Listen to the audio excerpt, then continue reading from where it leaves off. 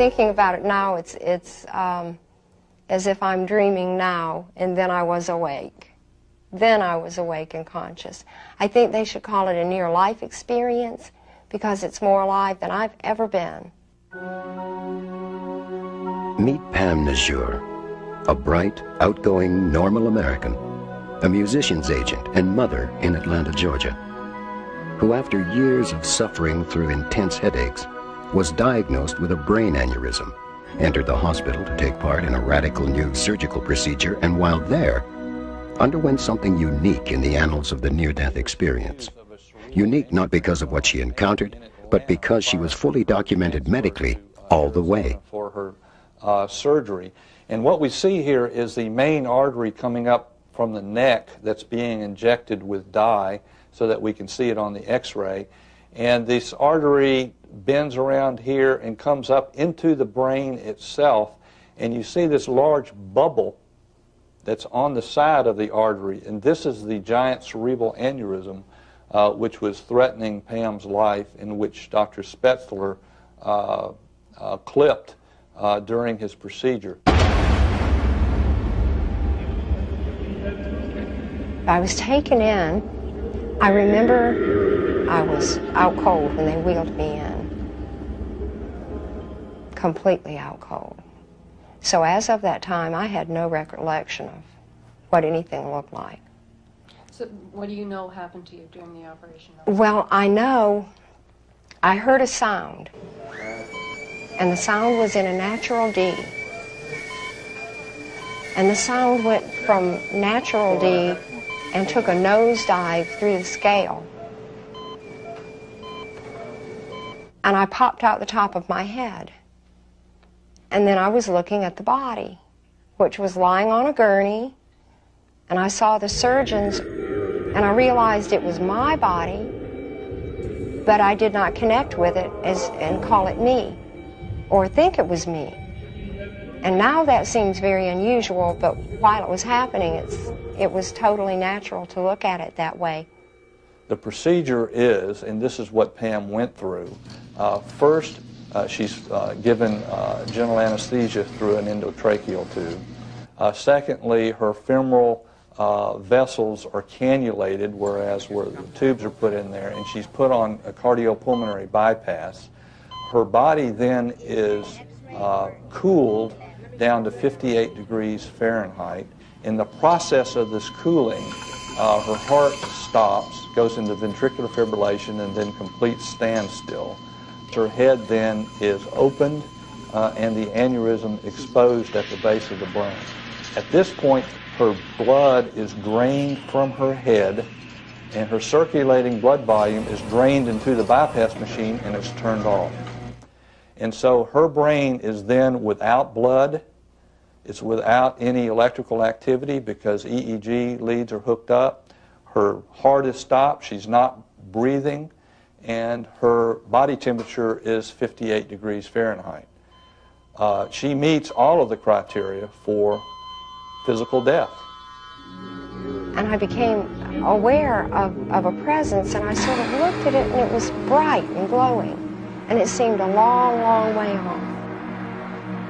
And I was in, I say it's like an elevator shaft.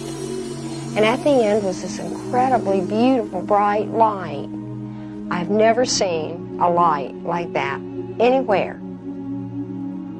It had, it was alive, it was uh, breathing, it, it was um, real warm and real comfortable and real loving.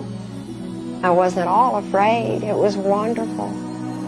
And as I got closer to the light, other presences began to come around me. And many I recognized as, as the people I had lost, who I was related to. The question, though, is that while she is cooled, while there is no blood in her brain, there's no electrical activity in the brain, where's Pam? Is Pam dead? Is Pam alive? Is Pam near dead? As I went into the light, towards the light, it refined itself it became harmonious. and it was uh, liquid, silvery. There came a time I knew that it was time to come back through the tunnel, and I was there with the body again. I remember hearing a phrase from an Eagles song, you can check out any time you like, but you can never leave. I thought, that's terribly insensitive. that's awful. and, and then I was, my next conscious memory was opening my eyes and seeing my family around me. Tom Harpur, theologian, Rhodes Scholar, journalist, and author, encountered this story when he was researching his best-selling book, Life After Death. Pam Najur is a special case, the exception that both proves and questions the rule. She was measurably dead, clinically unplugged, as it were, and then she came back to tell us about it. So, is it our measuring devices that need adjustment, or our notions about the nature of death and what it means? Good question. When I began the three years that it took to research my book, I knew there was no proof either for or against the existence of life after death. It's just as it is in the case with God. I saw my task then to be the assembly of the evidence, all of it, pro and con, to weigh it, and then to come to a rational conclusion based on a careful analysis of it. If you like, a kind of every man and every woman's common sense approach to the question. The one thing I can safely say that we've learned, the foundation stone, the central phenomenon of life after death studies today, is certainly the near-death experience.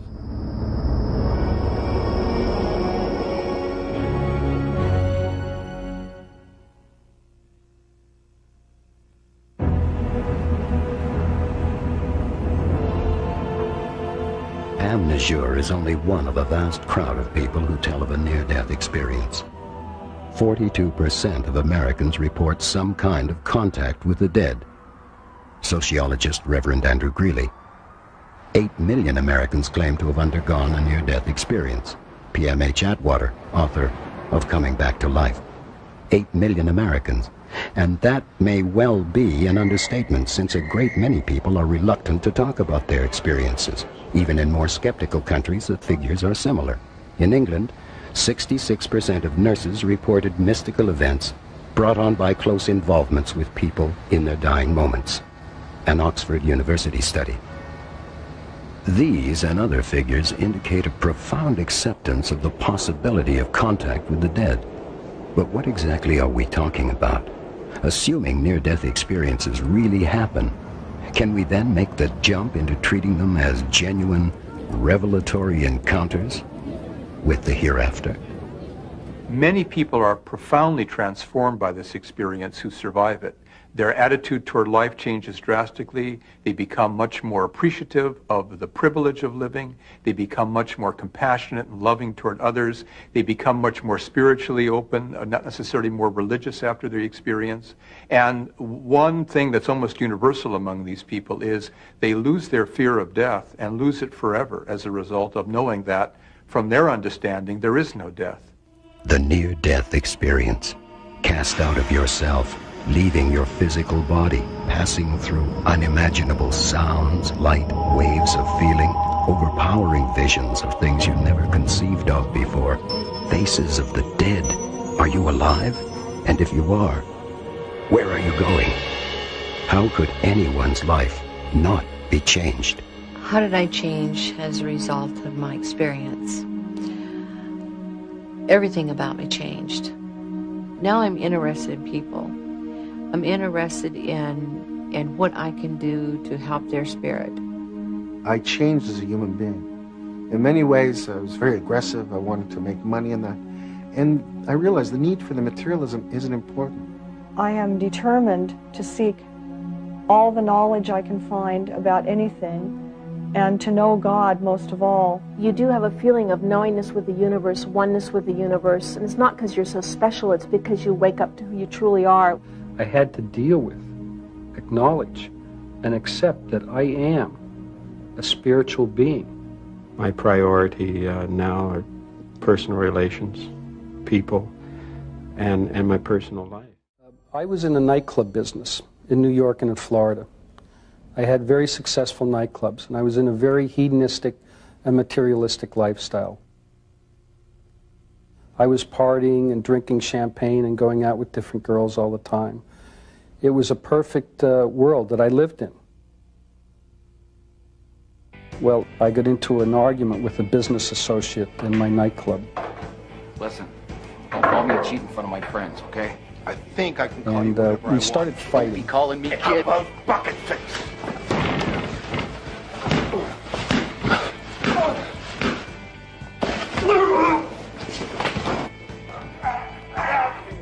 and it became quite serious. And I began to strangle him, and I was pulled away by a security guard. And all of a sudden, I heard my heart stop and my breathing stop at the same Ned. Instant, the same moment. And I knew I was dying. Ned. I thought to myself, this is it. Somebody call an ambulance. This is how it all ends. Hurry up! I was dead. I heard somebody shouting, We have no vital signs. We're losing him.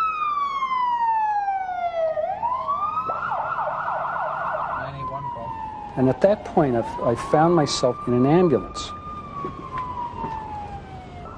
I could hear the driver on the uh, two way radio, and he was telling the hospital that they were on their way with a patient who just coded in the ambulance.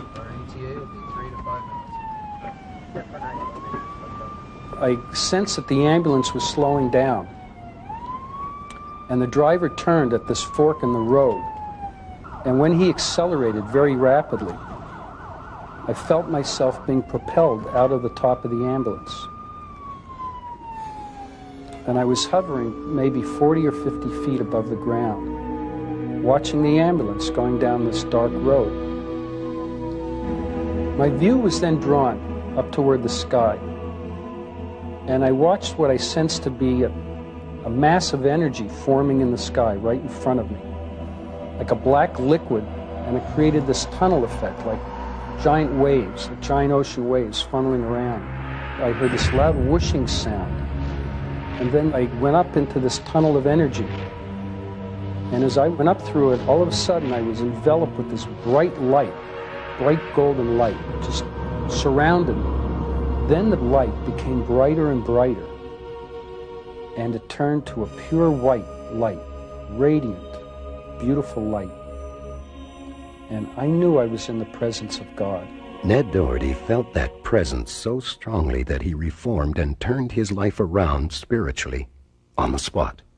But here is what happened to a man already a minister who had always assumed he was in the presence of God, but found that it meant something different after his near death experience. I was asleep, and I awoke about three in the morning with great pain.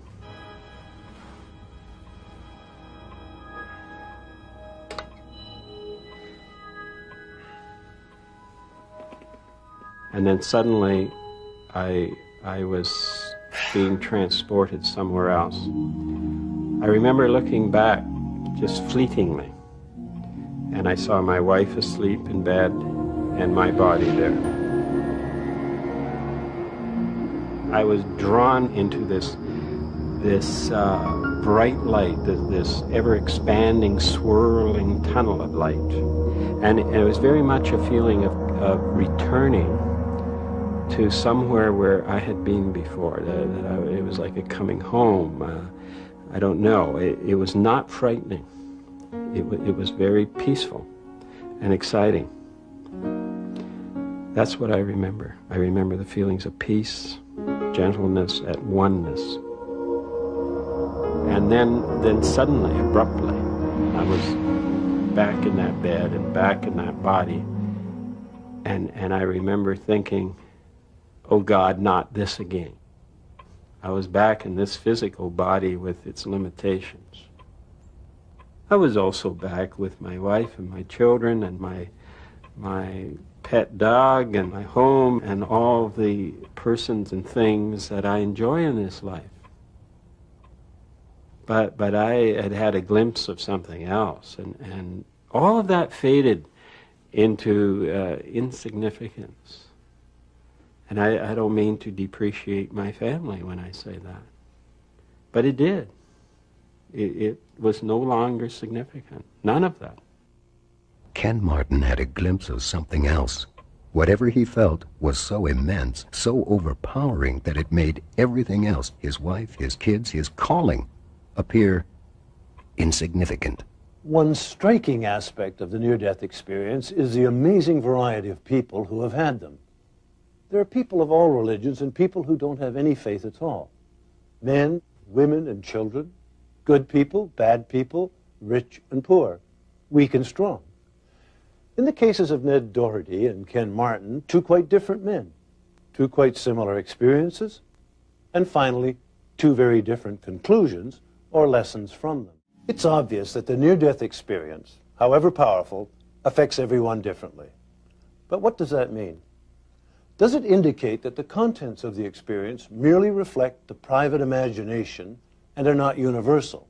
To put it another way, are they simply based in and confined to each individual's brain. I've no doubt at all that near death experiences are profound life changing events. They feel absolutely real to the people who have them. But underneath that, I think that it's all created by things going on in the brain. And if I want to understand what's happening in near death experience, I personally will try to say what's happening in here, not look for some idea of a, of a soul leaving and going somewhere else. So I think it's a, it's a real and important experience, but still, it's a brain based experience. I strongly suspect that the experience of the near death phenomenon and the conviction that there is an afterlife is tied to the intrinsic wiring of the human brain and a process that emerged evolutionary wise as the sense of self occurred. Because at the moment the sense of self emerged, if it had believed that it would die, the apprehension would be so significant it would have been fragmenting, and the sense of human self would never have evolved the way it has. There's plenty of evidence that people do change after NDEs, but a lot of controversy about why. Most people seem to think it's because they've actually met God or they've been to heaven and so on. I don't think so at all. I think the the really transforming aspect of an NDE is when it goes far enough for the ordinary sense of self to start to dissolve. One of the interesting things about the near-death experience is that the conditions bringing it about are associated with hypoxia, and we now realize that certain neurons die. Not all of them. A small subpopulation die, which means that now the brain is microstructurally connected differently. And basically the microstructure of the brain is your personality. These small changes are occurring in the appropriate place can produce a change that will last more or less forever, and the person will be and appears transformed. Well, those views sound perfectly reasonable from a scientific perspective, and yet they don't completely satisfy, I think. They leave some crucial elements out.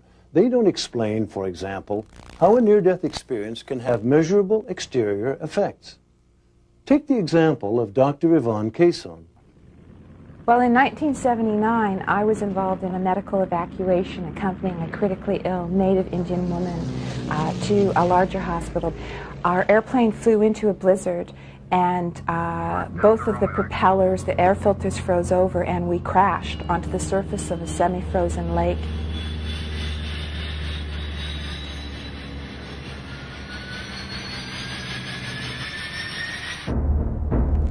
The patient died and so did Dr. Kason. But a bright, pure, blissful light enveloped her, took her out of her body, and soothed her. Her time had not come. She was returned to her body and she survived. The experience changed her in a lot of ways, but one way in particular. She became clairvoyant. Well, about a month after I had my near death experience, I was driving home from work to visit a friend. We were going to have supper together. And suddenly I got a very clear visual image in my head of my, my friend's brain covered in pus. Now, this image to me as a doctor was a very clear visual image of meningitis. So when I got there, I asked my friend Susan, How are you? How are you feeling? And she said to me, Gee, Vaughn, I've got a really, really bad headache. I've never had a headache like this. This is one of the worst migraines I ever had. as a doctor, I asked her all the other symptoms of meningitis, and she didn't have any of them. So I said to her, listen, if you develop any of the other symptoms of meningitis, I want you to promise me that you go to the emergency tonight at the hospital and insist on being tested for meningitis. So as it turns out, she did get worse that night. She did go to the emergency of a major hospital here in Toronto. And sure enough, she was confirmed at being at the very early stages of a very rare and often fatal type of meningitis. And because it was diagnosed so early, she survived it without any brain damage, which is very rare for an adult. So uh, this was my first clairvoyant episode. Dr. Kason's experience is not unusual in itself. Claims of increased physical sensitivity and mental powers are frequent and controversial after effects of the near-death experience. But remember this, the people we met are representative of literally hundreds of thousands who report similar experiences. They can't all be wrong. Something has happened to these people, and it has to do with the questions we asked earlier. Is the near-death experience indeed confined to the brain only? Or is it the result of non-physical phenomena of the spirit? I came down and said goodbye to him at 6.25. I remember it distinctly, and he was the happiest kid on earth because he was going to do what he loved to do. And, uh, you know, it was the last moments I saw him alive. 19-year-old Stephen Savin was a bright, active, seemingly healthy kid, a kind of golden boy. And then one morning, in a phys ed class, his heart just quit.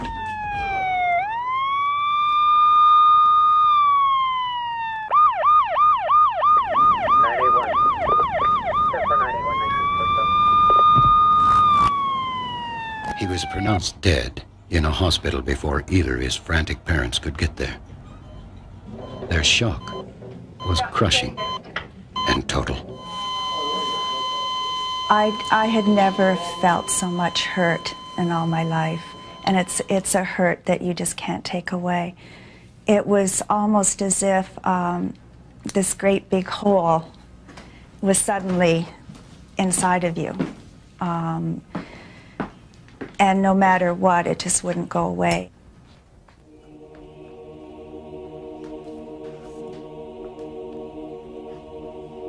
Before I, I had gone to bed that night, I was the last one to sort of put all the lights out and go upstairs. And, and it was a time for me to be with my own feelings. Um, we'd had a house full of people all day, and um, it was my time, and um, I just started to talk to Stephen. It was something that I felt that would help me. And I had asked him if there was any way in the world that he could come and say goodbye because I had not been able to say goodbye to him. And I felt that his father really needed something at this time. With that note, I went to bed and I went to sleep really quickly because I was exhausted. And then you know, I woke up around 3 o'clock, you know, found that I, I got out of bed. It was around 2.30 in the morning. It was quite uh, quiet out. And I remember coming downstairs and doing a lot of thinking and uh, looking at pictures of Stephen and just generally uh, trying to get a handle on what was going on. And then I came back upstairs and uh, Linda was in bed and I got in bed with her and she was Stephen. awake. And we were lying there and it was, it was around 3, Really enjoyed 3.10 in the morning. And it was very quiet and, and peaceful. I miss him. Then all of a sudden, I, I, I felt something, and I, I put my hand over my eyes, and I had my eyes wide open, What? and I felt, and then I saw a light. I I said to Linda, "There's something happening." What does it look like? And she, she said, "What was it?" And I, I said, "I don't know, but there's Oh. something here." And I, and I saw the light, and. I, I knew it was Steve. And uh, I don't know how I knew, but uh, Linda was saying, what, "What's he look like?" I said, he, he's, "He's a dove, and, and he's a star." and and it, and he's neither one at, the same time. He's he's, he's in and out, and he and the, he was pulsing with energy and bright bright light and very distinct and real. And and Linda said, "What's he saying?" And I said, "He's not saying anything. He's just there in front of me." And um, I was just transfixed looking at him, and and uh, it was beautiful, and I I knew it was our son, and all of a sudden, I heard the words, thank you. It came through me. And I knew that uh, Stephen had said goodbye to us. It was the most amazing experience I've ever had in my life. I felt a definite, sudden calm come all over me. This story was one that Tom Harpur, theologian, Rhodes Scholar, journalist, and author, encountered when he had finished writing his bestseller, Life After Death. The experience of the Savins is both touching and extraordinarily vivid. But perhaps more importantly, I find it completely believable. Neither of them had had any contact with the paranormal before this occurrence. And while it would be wrong to say that they miss Stephen any less now, there's no question that this incident has allowed them to begin to come to terms with his death. An important point to remember when we listen to stories such as those of the Savins is the sheer number of people who report such experiences. The Savins, in fact, are two of literally millions. Bill Guggenheim is a former Wall Street securities analyst who has now become a noted researcher in after-death communications. While these are very common events, we estimate, as an example, that 20% of all Americans and Canadians have had an after-death communication experience which translates into numbers such as 50 million Americans or 5 million Canadians. And those are very conservative estimates. Yet numbers are probably closer to double those figures. Yet people don't talk about these because when they have them, they often think they're going crazy or losing their mind, especially if they're bereaved at that time. So if they go to share them with somebody else, there's a great deal of skepticism in our Western culture uh, about uh, after-death communications. And yet the irony is that these are very, very common in other parts of the world, such as the Catholic countries of Central America, South America, parts of Europe, uh, in the Middle East, and even the Far East. There, there would be no reason to do the research or to write a book about the subject because they're just part of the process of, of living and of grieving and of dying and communicating after death back to the living person. Marilyn Johnson comes from a long line of native North American shaman and has inherited the gift of soul travel from her late grandfather. The story she is about to tell may give you pause, but the tradition of soul traveling she refers to is practiced by native people and is a process by which she leaves her body in spirit form. My primary purpose in life is to soul travel, gather information in the physical world, and travel to the land of the dead and obtain information from people's ancestors and then bring the information back and then help people here. So it's sort of compiling information from two different places and then presenting it as a package of information to those who are still living here. Marilyn Johnson helps those in the land of the living gain information about themselves through contact with those in the land of the dead. But she can also use this gift to heal those in the land of the dead. It's about in 1981. Uh, there was myself and a few other medicine people here in Toronto received a phone call from a woman in New Mexico. And her and her partner at that time told us that their house was haunted and uh, described a lot of noises. And they could hear like a little girl crying late at night sometimes. And they checked around the house and there was nobody there.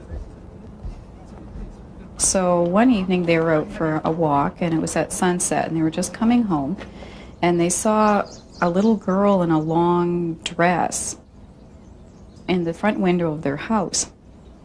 And they were wondering who was this little girl and why is she by herself? She looked like she was about uh, five years old and maybe of native ancestry. She had black hair and dark skin. Little girl.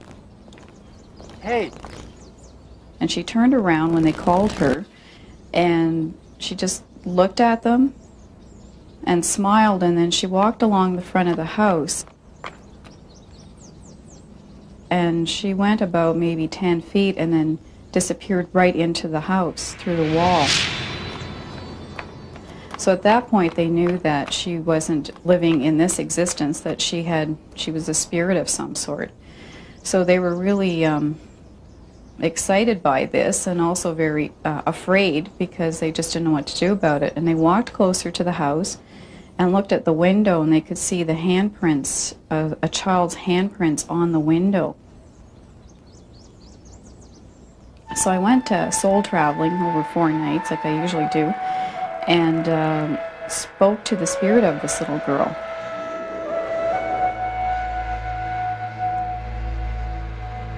But also, her the spirit of her mother showed up, and I could see that they were separated.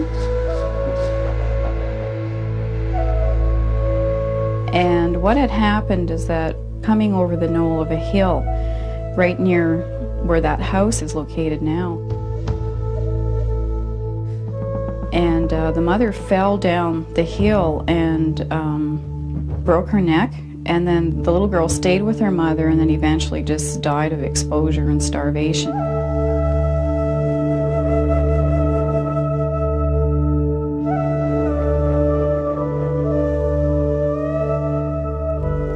And because they had died at separate times, it's like they were spiritually separated.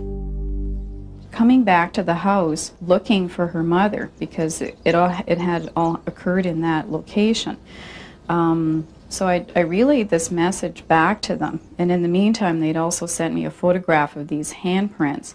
So what we advised them to do, and we did as well here, is we had a feast for the two of them so that their spirits could be uh, joined together in the same location in the spirit world, and we wanted them to be together. And once this was done, then the house wasn't haunted anymore.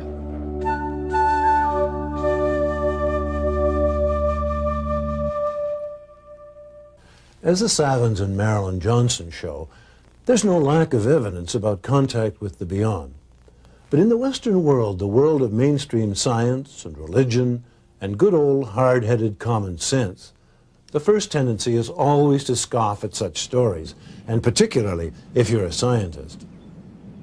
I think death is the most profound blow that a person can face. It's a frightening experience, the end of myself or of a loved one.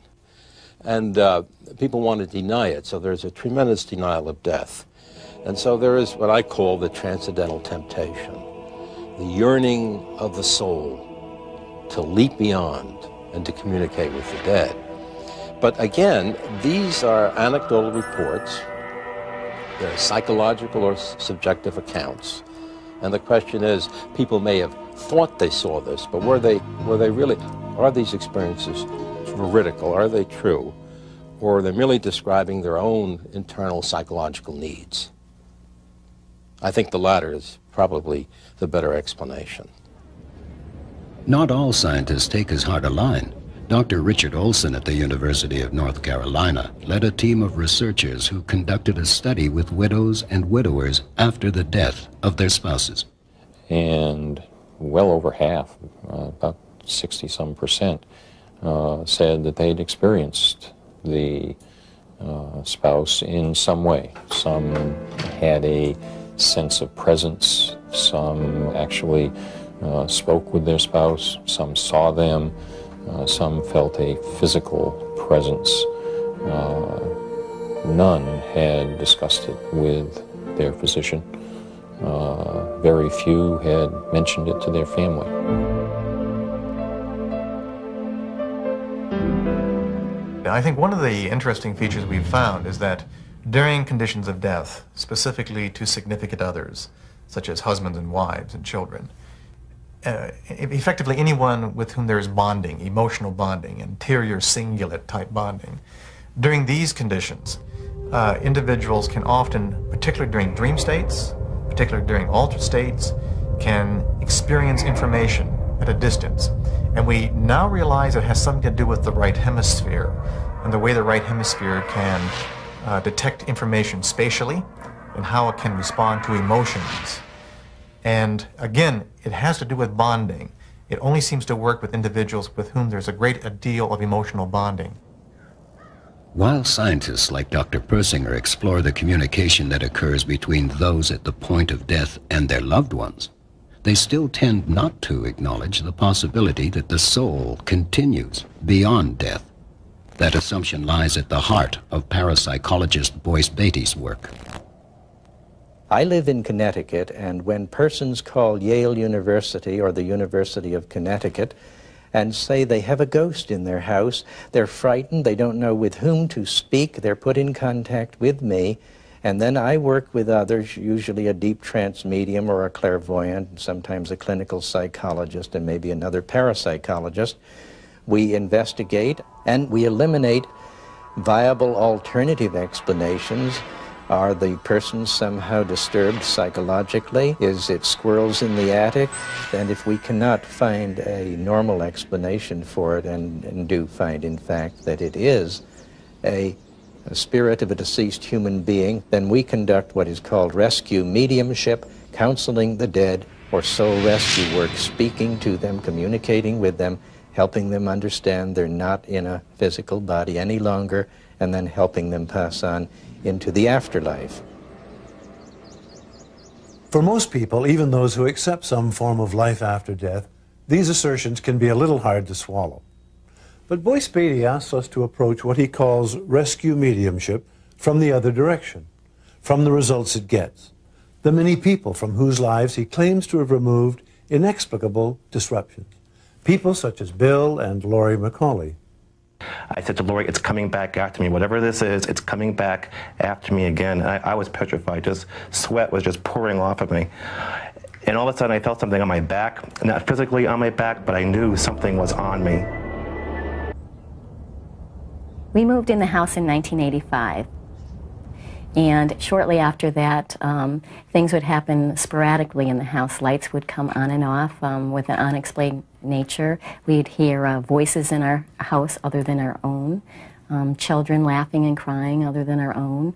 Um, objects would move before our eyes. Um, and this was very sporadic. Um, nothing that really pointed out to us that uh, definitely our house was haunted. I kept pushing these things to the back of my mind. No, this couldn't be happening. This couldn't be happening. It's got to be of a human nature. It's got to be um, a neighborhood child or a neighborhood teenager or, or, somebody was harassing my wife. Until one evening, I was working second shift and I had come home from work and everybody was asleep. And I took the dog out in the backyard and all of a sudden this light came out of the ground. It was about six feet long by about three feet wide. It just came right out of the grass and my dog walked over to the edge of it and showed his teeth and started growling ferociously at it.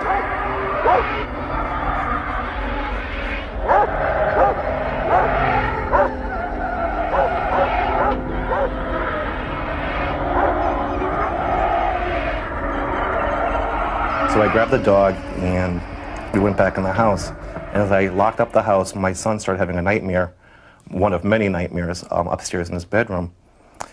So I woke him up and brought him downstairs and, and put him into my wife's, into, into our bed.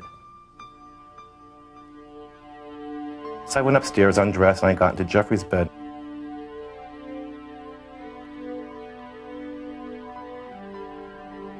And then as I lay down, I felt a presence for the very first time um, over the dresser, looking down at me.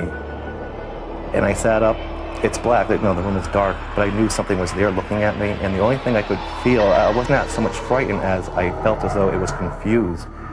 It was trying to figure out why was I in, in this bed and not Jeffrey. At first, he was my friend in the beginning, but then at the end, I was listening to my parents a lot, and he'd try and scare me until one night he was really bugging me, and a lot of havoc was going on in our bedroom. We were sleeping together in the same bed, and there was that one occurrence when he came out of the closet and was scaring us, and he just pulled the covers off us, and he was just scaring my brother and me.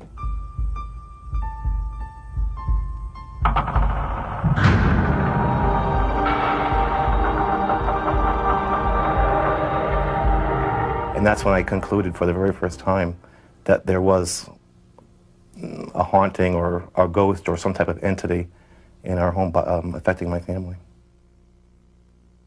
Upon reading an article about Boyce Batey in the newspaper The Hartford Courant, Bill McCauley contacted him. Boyce determined that the family was indeed troubled by a legitimate haunting before prescribing a remedy. What finally worked in our case was um, the mild exorcism in the home, and uh, Boyce Batey did a prayer for the dead, which um, uh, helped pass over the earthbound spirits that were left in our home. Recognizing that in many of these cases it's a matter of helping people go into the light, uh, recognizing that in many of these kind of cases, what is happening is that it is the spirit of a deceased human being who is earthbound, who is quite confused, not realizing they are no longer functioning in a physical human body and uh, have not passed into the afterlife, into the light. So that night I uh, did a, a, prayer that um, was oriented toward communicating with the spirits of any deceased uh, human beings who had not gone into the light, who were earthbound. As a result of their experience, the McCauleys have pioneered a self-help group, Victims of Paranormal Phenomena. Some Buddhists believe that if we don't get to the light after we die, we will remain sorrowfully earthbound, unable to find our ways through the bardo and into our next reincarnation. Other cultures maintain similar concepts expressed in their own terms. The testimony of the Savins, Marilyn Johnson, and the McCauleys points to the possibility that consciousness can have existence beyond physical death. They thought Jessie Lott had a bad cold until her liver began to fail. She went into a coma, her brain pressure reached 100, and her heart stopped. For 20 minutes, she was gone. And then she came back. An ordinary emergency, really. Except for one thing. When my heart stopped, I just suddenly saw my grandma, and she passed away like a year ago. Uh-huh. uh-huh. What did she look like? Well, she, she had like a white robe on, and she looked exactly how she did before she died. I've interviewed dozens and dozens and dozens of children who have had these experiences. Pediatrician Dr. Melvin Morse of the Seattle Children's Hospital has conducted by far the most in-depth research into children's near-death experiences. His documentation includes extensive on-camera interviews with children, such as Jesse Lott. And what did you think about that, your grandma being there? I was just so shocked. I didn't, you know, I don't know. Just like she was right there and I was right here, and I can't move. She was just sitting there. It's like she was frozen. I, mm-hmm, mm-hmm. It, I was sort of scared, but sort of happy to see her. That's all I remember. That she was sitting in a chair. She was sitting frozen, and she was fine. I, I don't know where I went, I went. She's just a kid. A kid with no axe to grind, no knowledge of the concept of the near-death experience. In her case, hardly any religion in her upbringing at all. Just a kid who remembers what she experienced. Hers is just one of the stories Tom Harpur, Rhodes Scholar, theologian, and journalist, encountered when he was researching his bestseller, Life After Death. Just a kid. But to children, and particularly those who have had no special indoctrination in religious ideas, have something unique to tell us about what happens after death. Are their experiences different? Or do they have the same experiences as adults but see them differently? Are they better reporters because of their lack of sophistication? In this program, we will look at many examples of children's testimony. Children have simple and pure experiences. They use words like neat or weird, which you know are very, very real feelings. That uh, uh, you know, the typical child's near-death experience, they go, "Wow, I thought I was floating out of my body, and I knew I was dead, but I was still alive." And, and there's a, a genuine quality of mystery about it. How could such a thing be really happening to them? They're often frightened by the experience. Many of them wonder how they're going to get back in their body. Uh, since it's so far out of the realm of anything they expected, uh, they uh, frequently say, it was scary. Uh, that's not an unusual uh, experience at all. And mostly I'm impressed by how fragmentary the experiences are. They usually just tell a teeny little fragment of something that has clearly uh, struck them. The huge noodle was just like a tunnel. It went straight, and it didn't have anything in your way. It wasn't like a spiral noodle, so it's either a tunnel or a noodle, and it was the rainbow.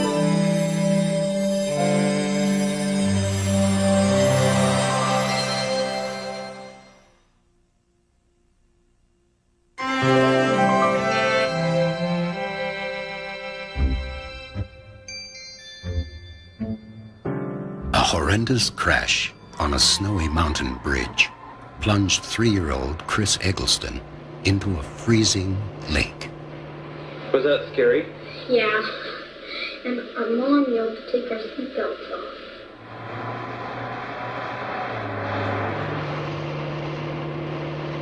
But when we crashed, behind us was a car with six children in it. He was the person who saved my life.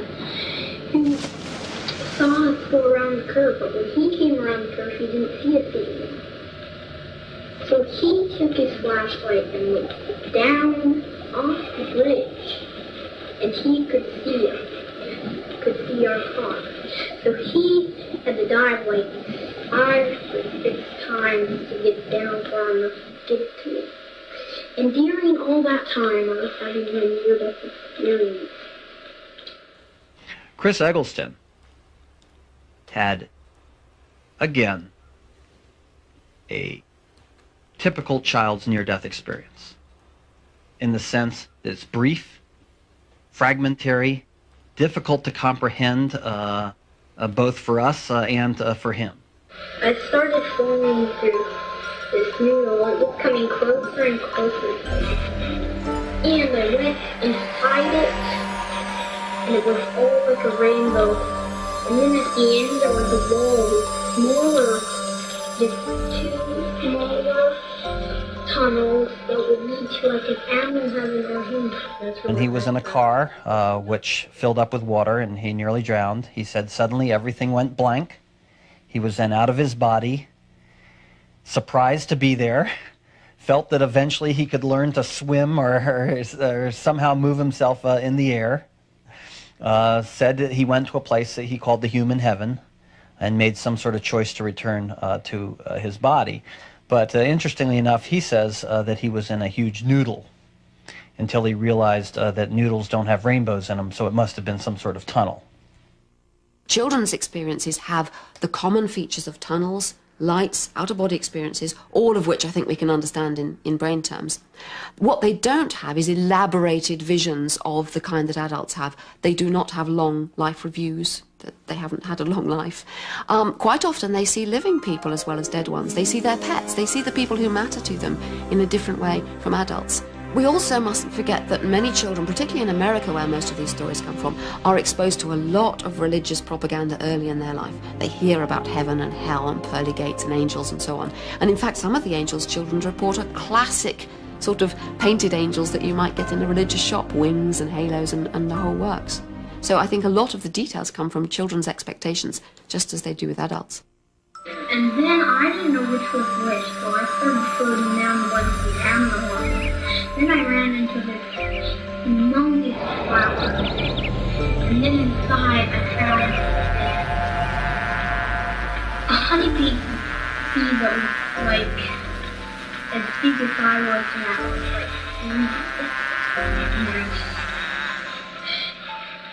I knew he liked me because he, he gave me some bread.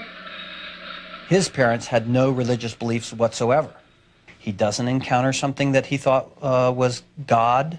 Uh, his heaven uh, is a very commonplace description of heaven in that it was a golden castle with pearly gates, uh, the kind of thing uh, that I think virtually every child is exposed to. Um, he says he had a bumblebee as a helper uh, that assisted him uh, with the experience. In other words, I think a more religious child typically describes guardian angels as assisting them with the experience. Um, in his case, it was a bumblebee, a very non religious uh, image, in keeping with his very non religious background.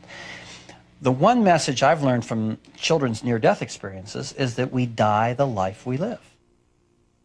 So, it seems we die the life we live. The same images that are comforting to you in life are comforting in death. How did that make you feel? It, I was sort of scared, but sort of happy to see her. You were happy to see her. Uh-huh. And then what happened? One of the most interesting things about watching the interview with Jessie Lott is the fragmentary nature of her experience.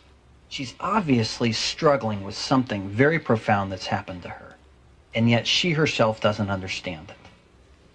She has a long memory gap to the very moment her heart stopped beating. And that's when she had the image that her grandmother was sitting there at the bedside. I was just so shocked to see her. She has the sensation she went somewhere else, and then she was back. And then following this tiny little memory, which is localized to the point of her near death, she then has another long memory gap. She doesn't tell us a coherent story. She doesn't fill in every memory gap. She doesn't have a logical or rational explanation for the puzzling things that happened to her. Instead, she simply tells us what she saw and how profoundly affected she was by it.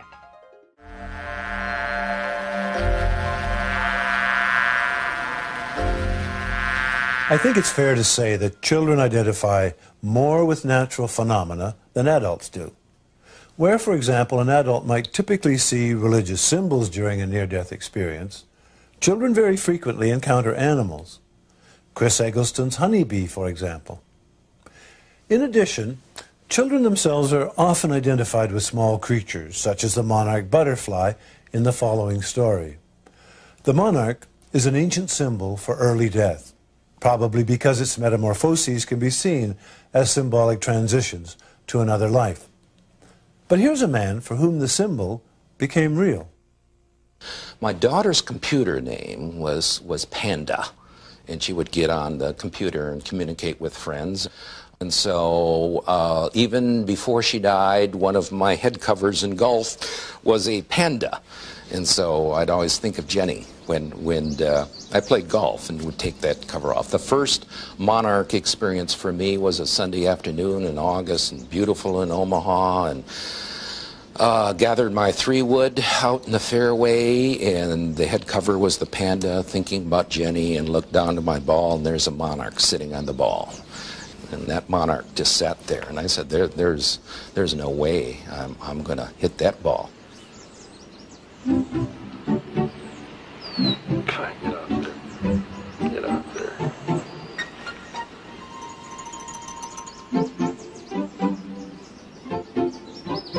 So after several minutes, finally the monarch very gently and kind of spiraled up and went away, and and I felt very warm about it. Told my wife, and and uh, within a couple of weeks, some more began to happen. I was talking to a new next door neighbor, and he asked me, How many children do you have? And I'm always reluctant. Do I say three, including Jenny, or two, just the living? And I said three. And so he asked me questions. He says, I know a little bit about that and, and uh, what happened. So I told him, and then I began to relate the butterfly stories, uh, three of which had already happened at that point. Take my hat off and I'm shushing it away. Thing just doesn't want to go away. As I'm talking about Jenny, as I'm talking about deathbed visions, and so on, a monarch comes and there's a twig there and sits there. And he's doing this double take looking at me and looking at the monarch, and it sits there what seems like uh, six to seven minutes.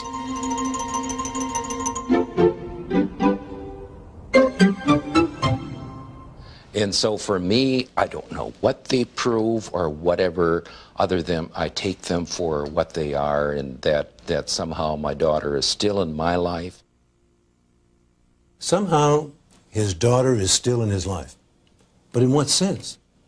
Is she in some way present in the butterfly? Or do we really mean in his memory? Does this have something to teach us about what happens after death? Certainly many parents think so, and then there are the students and the researchers in the field of children and dying who frequently encounter stories of deceased children who come back to help their loved ones. I interviewed a man who had a little girl who had spent 18 months dying of neuroblastoma, and she got through multiple remissions. How was your day? Okay. Did anybody come to visit? No. No? Can I get you anything? No. Dad. Yeah? No, I've saved One day, she and her father were talking, and she was very concerned about what was going to happen. And she said, Daddy, do you know why I've got better three times? He said, No, honey, why? She said, Because I have to prepare you for my death. And when I feel you're ready, then I'll die. And the day she died, she put her arms around her daddy's neck and said, Daddy, you got to promise you won't do anything to hurt yourself. And he promised. But yet the pain and the anguish so great. Three days later, he was seriously thinking of killing himself. But uh, he heard her distinctly say, Daddy, remember, you promised. and he said, even though the pain was bad after that, I never seriously contemplated committing suicide again. A hallucination? Maybe. But when people die, there's always an inexplicable aura around them, and never is that phenomenon more deeply felt than when a child dies. The feeling may come from the child, but it encompasses all the people close at hand. There's no end of credible anecdotal evidence to this effect. But Emily Dickinson puts it as clearly as anyone ever has.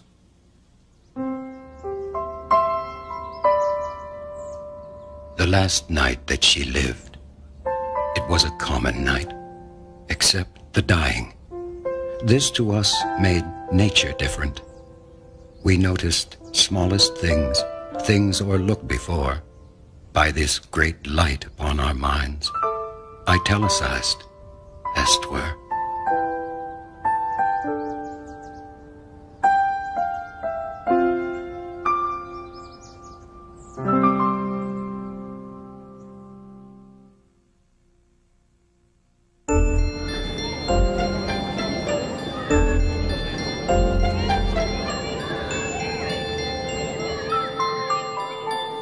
You know, something that Dr. Morse has learned from his research is that children don't see death as something to be feared. I'm curious, one child said to me, I'm not afraid to die anymore. What's the message that people who've had these experiences? They they tell us again and again, I'm no longer afraid to die. Sometimes children carry their indifference to death to extremes, appearing notoriously casual, not to say callous about the whole idea. After all, they can't really conceive of its meaning, and certainly not to its happening to them. Miss Lucy had a baby, she named it Tiny Tim. She put it in the bathtub to see if it could swim. It drank up all the water, it ate up all the soap. It died the very next morning with bubbles in its throat. Miss Lucy had a baby, she named it Tiny Tim. She put it in the bathtub to see if it could swim. It drank up all the water, it ate up all the soap. Tried to use the bathtub, but it wouldn't go down, so Miss Lucy had a baby. But children not only have near-death experiences, they die too. And there's plenty of evidence that they tend to approach their deaths differently than adults. They are often less frightened and more concerned with the effects on their loved ones. Tanya Caruana had been battling leukemia for close to three years when her parents had to break the news to her that she wasn't going to get any better. When her cancer did come back, it was it was it was really it was devastating, and that to think that your child is is going to die and you're never going to see that child again. Tanya became very quiet, very withdrawn at that point. I knew that I couldn't wait any longer. That I had to confirm to her that yes, there's nothing more that could be done, and that was a very difficult thing as a mother to do.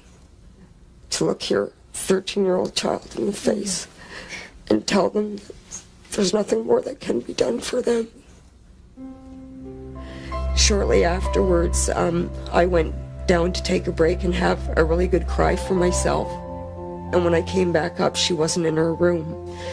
And I found her in a little five year old boy's room, telling him how important it is that he takes his medication because he was having a lot of problems taking his medication And I thought, here's this child that just found out that she's dying, and here she is trying to help somebody else. When children are dying of an illness, it's a devastating event for parents, obviously, and siblings. But if the parent can make themselves receptive to the child really truly sharing their experience, rather than continue to be rooted in the physical losses and changes, and that's a very hard thing to do. Ante- anticipating the loss of a child is it's one of life's most devastating things. But you have this little child, this little this little spirit that is having some very wonderful experiences. She was very weak, and you could see her just trying to lift her arms. And at first, we couldn't figure out what she was trying to do. And then we realized through her whispers that she was trying to hug us. So we both took an arm. My husband took an arm, and I took on an arm, and I was laying on the bed beside her. And I put my other arm around her, and I was just holding her. And she kept saying over and over again, I love you, I love you. She knew that her time had come. If the parents can be more receptive to where the child truly is, not so much where the child's body is, it's a big distinction, they will get some very comforting messages that this child is not alone, this child is going on a wonderful adventure, this child is not afraid, this child is not suffering.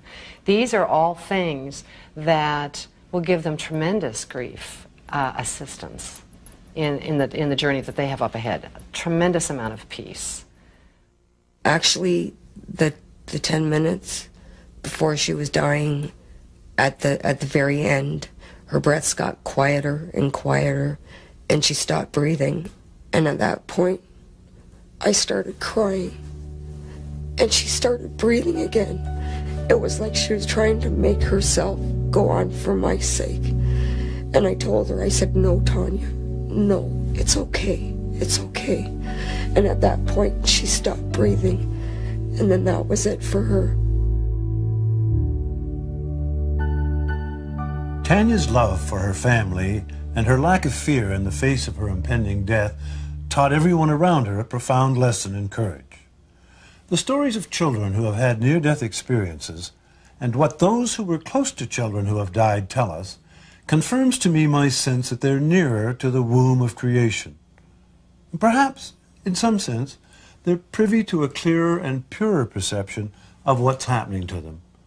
As Maggie Callanan tells us, if we can get beyond the grief and the pain we feel as a child close to us is dying, we might hear them telling us something very important about the journey they see ahead. That it's an adventure, that they're not afraid, and that we shouldn't be either.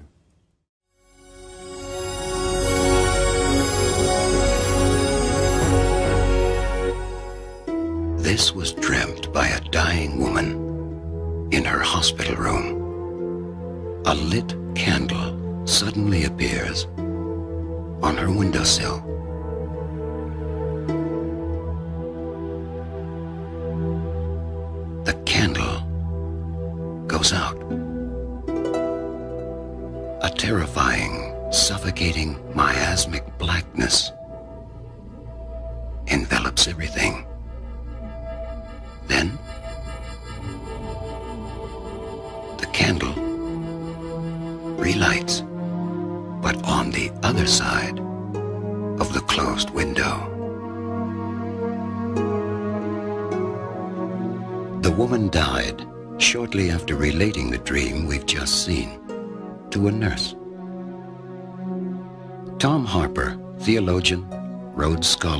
Journalist, and author, encountered this story when he was researching his best-selling book, Life After Death.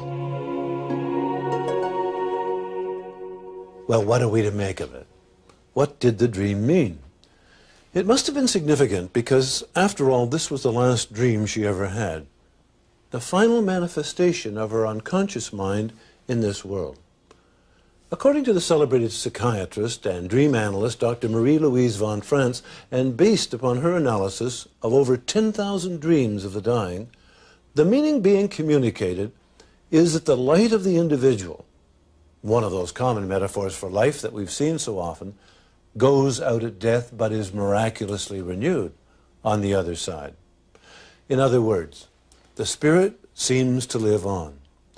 This dream, then, illustrates perfectly a profound insight of the great psychoanalyst and the mentor of Dr. von Franz, Carl Jung. The unconscious psyche believes in a life after death. According to Jung, dream symbols which exist in the very depths of the soul behave as if the psychic life of the individual will continue. In Dr. von Franz's words, these symbols depict the end of bodily life and the explicit continuation of psychic life after death.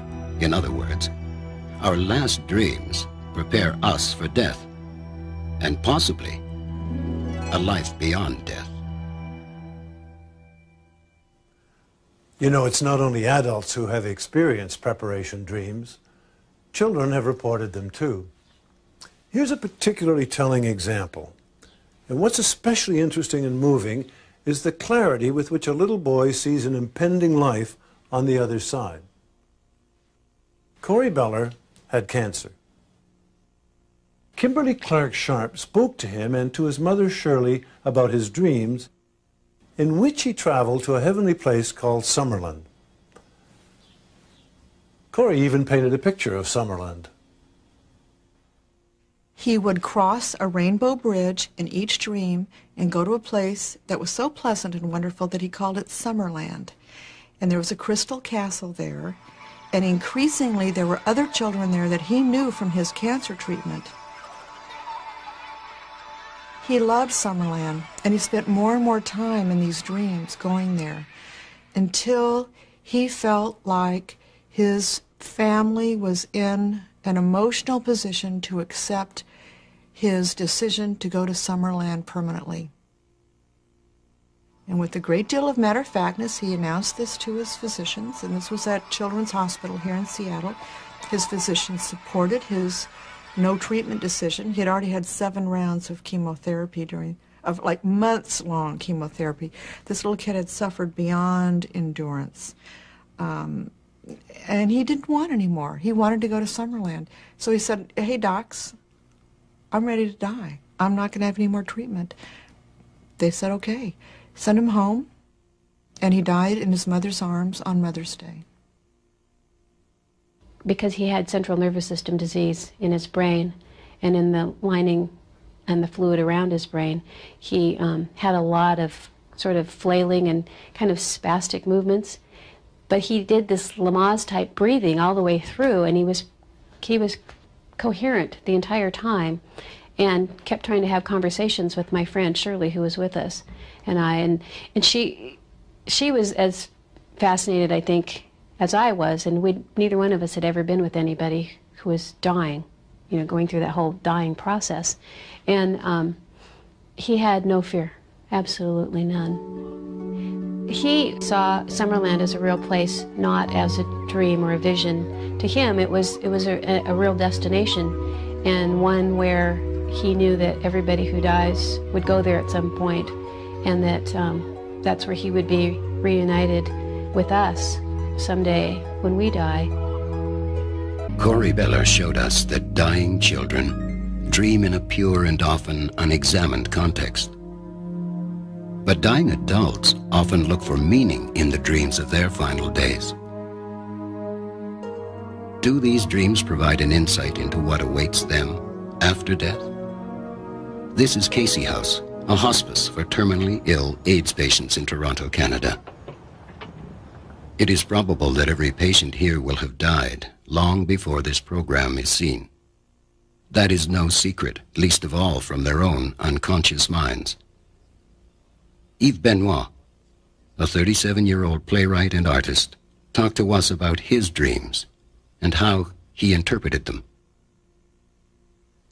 The universe is the sea. The sea represents, I have dreams about the sea.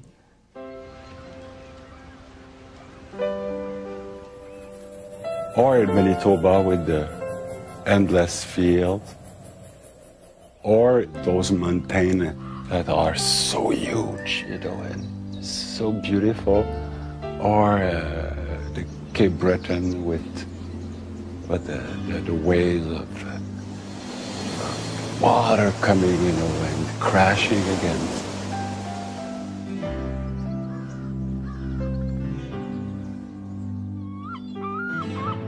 Dying is to be part again of the universe without having to compromise or without having to work for it, you know? There is this, this sense that they have the power to make your life change like that, you know? But when you die, there's, it's like the, the elements become your friends, or they have seduced you. Anyway, I don't know if they are your, your friends or your enemies, but one thing for sure, you're going back to that. It's. Uh... Yves rejoined the elements in his dreams two weeks after he spoke with us. Douglas Graydon, the chaplain at Casey House, has seen a great many like Yves and listen to them describe their dreams. I think it's taught me that the dying process is a lot more gentle than I presumed it to be.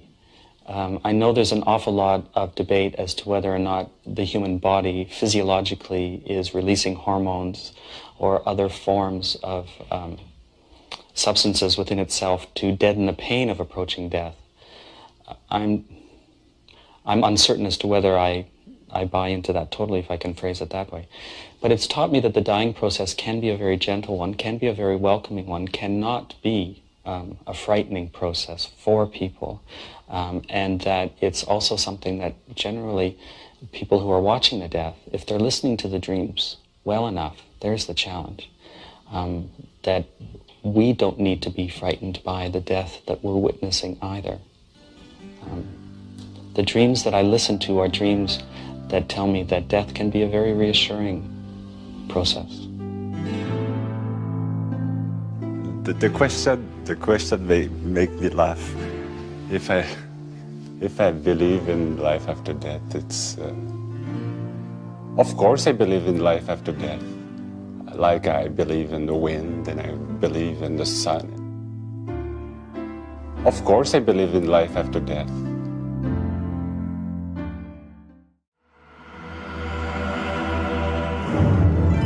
Bruce Bynum, an American researcher, has spent much of his professional life studying the many aspects of dream life, including what happens as death approaches. Most cultures have a, uh, a very rich and diverse way of uh, indicating that death is on its way. Death is uh, inescapable. Nothing can live that will not eventually turn to death. So uh, one's religion, one's culture, one's personal experience profoundly influences the exact content of the symbolism. The symbolization process is a universal process, but the contents of the symbols are different. If you are a Roman Catholic, you may have a certain series of symbols or images come to you. If you are a Buddhist, you may have a different set of and images come to you. If you are uh, Hindu, if you are Islamic or whatever. But the symbolization process and the psyche's attempt to come to terms with it, that's a pretty universal, pretty universal phenomenon. And again, the body and the mind begin to not go their separate ways, but the psyche begins to separate somewhat from the physical body and, the, and turn its attention toward the deeper regions of its own soul, its own psyche, if you will. There are definite common symbols, particularly in the West, about the, uh, one's own death. Uh, common ones are one about to take a long trip, a long journey. Uh, another common one is uh, the uh, one's final curtain call, if you will. Another one is uh, images of burial grounds. So there are many, many, many very common ones, and you could call them archetypal if you want, but they're very common. You would find a different set of ones if you were in India and a different set of ones if you were in Japan. So culture influences profoundly the content of symbols, but the symbolization process is universal. Sometimes the symbol of impending death can be entirely personal, perhaps only a sound. I heard a fly buzz when I died. The stillness in the room was like the stillness in the air between the heaves of storm. With blue, uncertain, stumbling buzz between the light and me. And then the windows failed, and then I could not see to see. But whether the symbols are traditional or personal, the basic question arises, is this real information in symbolic form? Are we truly being informed about what to expect? Maggie Callanan is a palliative care nurse and co-founder of Shades of the Rainbow, a workshop whose aim it is to reframe our approach to dying. We really use dreams uh, in two pretty distinct ways in hospice. First of all, I think it's, a, it's an important type of communication if our patients are dreaming, to ask them to talk about the dream. If dreams uh, recur, if there's a pattern to their recurrence, the same dream over and over again. Um, some dreams may have a theme that builds. I remember one woman who lived very much alone, and uh, her cat was her real important person, or the, the thing that she loved most in life and uh, the cat she had had the cat put to sleep just some uh, weeks prior to her own death. And in her dream she could see the cat down the tunnel. And she would squint and look and she wasn't sure about the shape. And and the dreams were sequential and as time went by they then she was sure it was the cat and it was coming closer and closer and closer. And i remember saying to the nurses she will probably die when that cat comes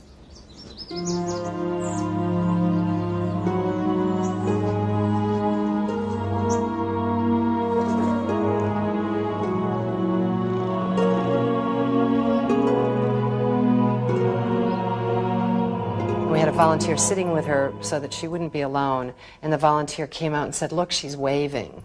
But she was going like this, and she was stroking the cat. So that was a good tip off to us that this, there was this process going on with her.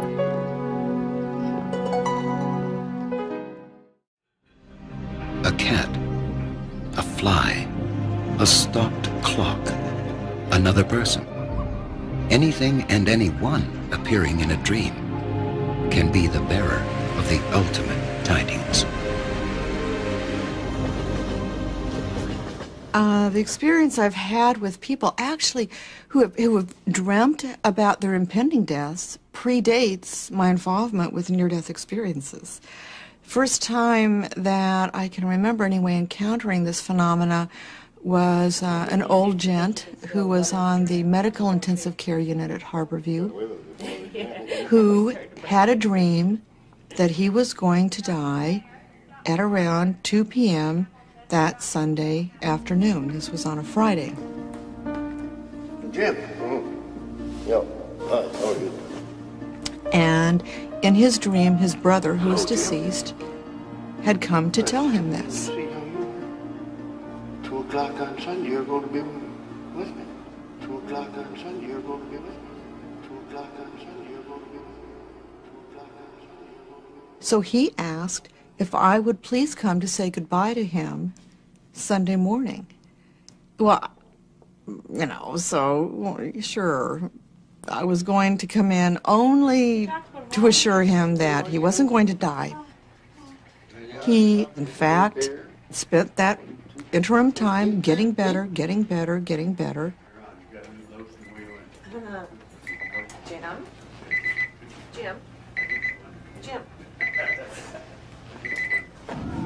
Code Blue 104. And that Sunday, around 2 o'clock, he went into cardiac arrest and nobody could get him out. Nobody. And he died. And I was comforted by the fact that I knew his brother had come for him again. Sunday, you're going to be with me. Over the years, Maggie Callanan has come as close to understanding the process of dying as anyone could. Some of her conclusions may surprise you, especially her sense of how dying people organize their deaths, for want of a better word. The way I describe it to my families is it's almost like your dying father has a foot in two worlds, and he has the ability to shift back and forth between the two worlds. When I worked in the hospitals, I was never surprised to hear somebody seriously ill say, I want to go home, I want to go home. That made sense to me. But wasn't I surprised when I started working in patients' homes that patients were saying, I want to go home? Then you have to say, wait a minute, what are we talking about here? And patients saying very clearly to my families, I have to go home now. It's time for me to go. A lot of this kind of symbolic language about taking a trip, um, uh, seeing a place that no one else can see, um, being aware of people that no one else can see, oftentimes dead relatives, uh, people who have predeceased the person, or sometimes a spiritual being. Um, dying patients frequently know exactly when they're going to die, even if no one has told them that they're dying. Now, they cannot stop the process, but they can delay or speed the process up when all around them is in the right place. Uh, most people are aware that a grandmother can wait until her favorite grandson travels across the country to say goodbye. But what people overlook is the dying person who sends the family away, perhaps in a hospital, go home and rest, you're tired, I'm doing better. And the family gets home and a half an hour later the nurse calls and says he's gone. That family is left with a legacy of guilt that is destructive and, and wounding, when in fact it was the last loving act that he actually chose to spare the people he cared the most about. Um, dying children very prevalently send their parents away. It's almost as though the pain of having them present when they die is too much. That they can't be freed to go on to this journey that they really want to go on to when they see the pain of loss in their parents' faces. Um, this is very important for people to know ahead of time. Because otherwise they carry a legacy of guilt with them for years. How could I have gone to sleep? How could I have left? How could I have had dinner in the cafeteria? and they feel terrible anguish over that. The really important point about dreams that struck me as I was researching this particular aspect of evidence for life after death was that the unconscious, using archetypal images, encounters very squarely the fact that the body is facing its own dissolution, that death is real. At the same time, the psyche also seems to be telling us with very rich and universal imagery that it has a deep seated belief that life or consciousness somehow goes on at the end. I found this even more telling than the evidence of the near death experience. In our culture, dreams may be the best medium to inform us about the journey we might undertake. In others, as Bruce Bynum now explains, meditation and contemplation are the keys to furthering this process of understanding.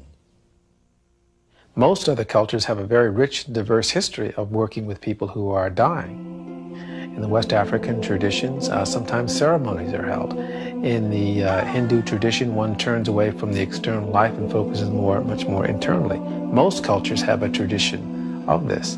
The only cultures in the, in the world who don't have a tradition of this, unfortunately, are the West. And we've sort of um, lost a little bit of our way in that area while pursuing other things, we've sort of lost the art of dying. And the art of dying is complementary to the art of living.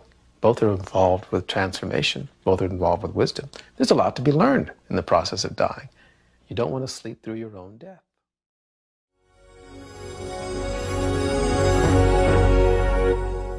It's hard to, to get people to believe that it wasn't a, a suicide attempt. Pat Young was in despair that she would ever be able to resolve the difficulties in her marriage. And so she shot herself and went to hell. I knew it had to be something that would be drastic enough to put me in the hospital, but not drastic enough to kill me. So I didn't do, do my torso because I didn't want to do any serious damage. So I thought if it went in one side of my neck and out the other side, that would be bad enough to put me there, not bad enough to keep me there. I had no idea I would die. I, I was in a coma for three days on life support. They, they didn't, they, they were positive I wasn't going to live. They had informed the family that um, they had lost too much blood. It started out with these little beings, um, child-sized creatures grotesque, absolutely grotesque little creatures. And um, they took great delight in um, doing things. They would make holes in me. They would either shoot me or they would make holes by actually hitting me. And um, in these holes, they would put horrible things. Any anything that was that was excrement, um, vomit, um, bile, anything that was absolutely obnoxious. And these holes were everywhere. They would put them in my body, in my arm, um, in my cheek, in my eye socket. And, and you, you can't do anything. And, and you're extremely ill from it. But, but you, can't get sick. I wasn't able to, to even gag. And, and you can't feel the pain, but you can feel, and, but then you can smell. And just beyond my right shoulder, I could hear this um, very heavy, raspy breathing, and it was getting closer. And I, I couldn't turn to see, and I didn't want to see. But I knew that as soon as it got within my range of view, that what I had gone through up till then was absolutely nothing. It was absolute pure evil of some sort that was coming. And at the very last second, when I knew the very next instant it would be within my range of view, I opened my eyes and I was alive. Tom Harpur, Rhodes Scholar, theologian, and journalist, found when he was researching his book Life After Death that most people who have undergone near-death experiences claim to have at least started on the path to heaven. But there are others for whom the experience turned intensely negative. Hellish, in other words. Not long ago, my wife and I attended a church service in which the preacher declared in no uncertain terms that only those born again in Jesus would be spared eternal damnation. Afterwards, I told him I thought he had a rather narrow view of heaven and hell. I do indeed, brother, he thundered at me. I do indeed. It was obvious he felt we were headed in different directions. Maurice Rawlings, a cardiologist in Knoxville, Tennessee, has been on the front line in operating rooms where he has seen numerous people die and revive. He says we are not hearing about negative near-death experiences because no one wants to admit they've been to hell and back. Unless you're on the floor with the patient resuscitating, at the time, the heat of battle, uh, at the time of their experience, why are you fighting me off, John? What do you see? Is there fire down there? Is the devil there? What's there? Uh, then it all comes out. It's not sublimated into painless portions of the memory. You've caught them red handed. They can't deny it. It's there. The negative experiences are always been there. They just haven't been captured because the psychologists, psychiatrists that interview these patients for a living, collecting cases of after death experiences, haven't resuscitated one of the individuals they're reporting. How is somebody going to report a negative experience when they won't even tell their family? It's an F on the report card.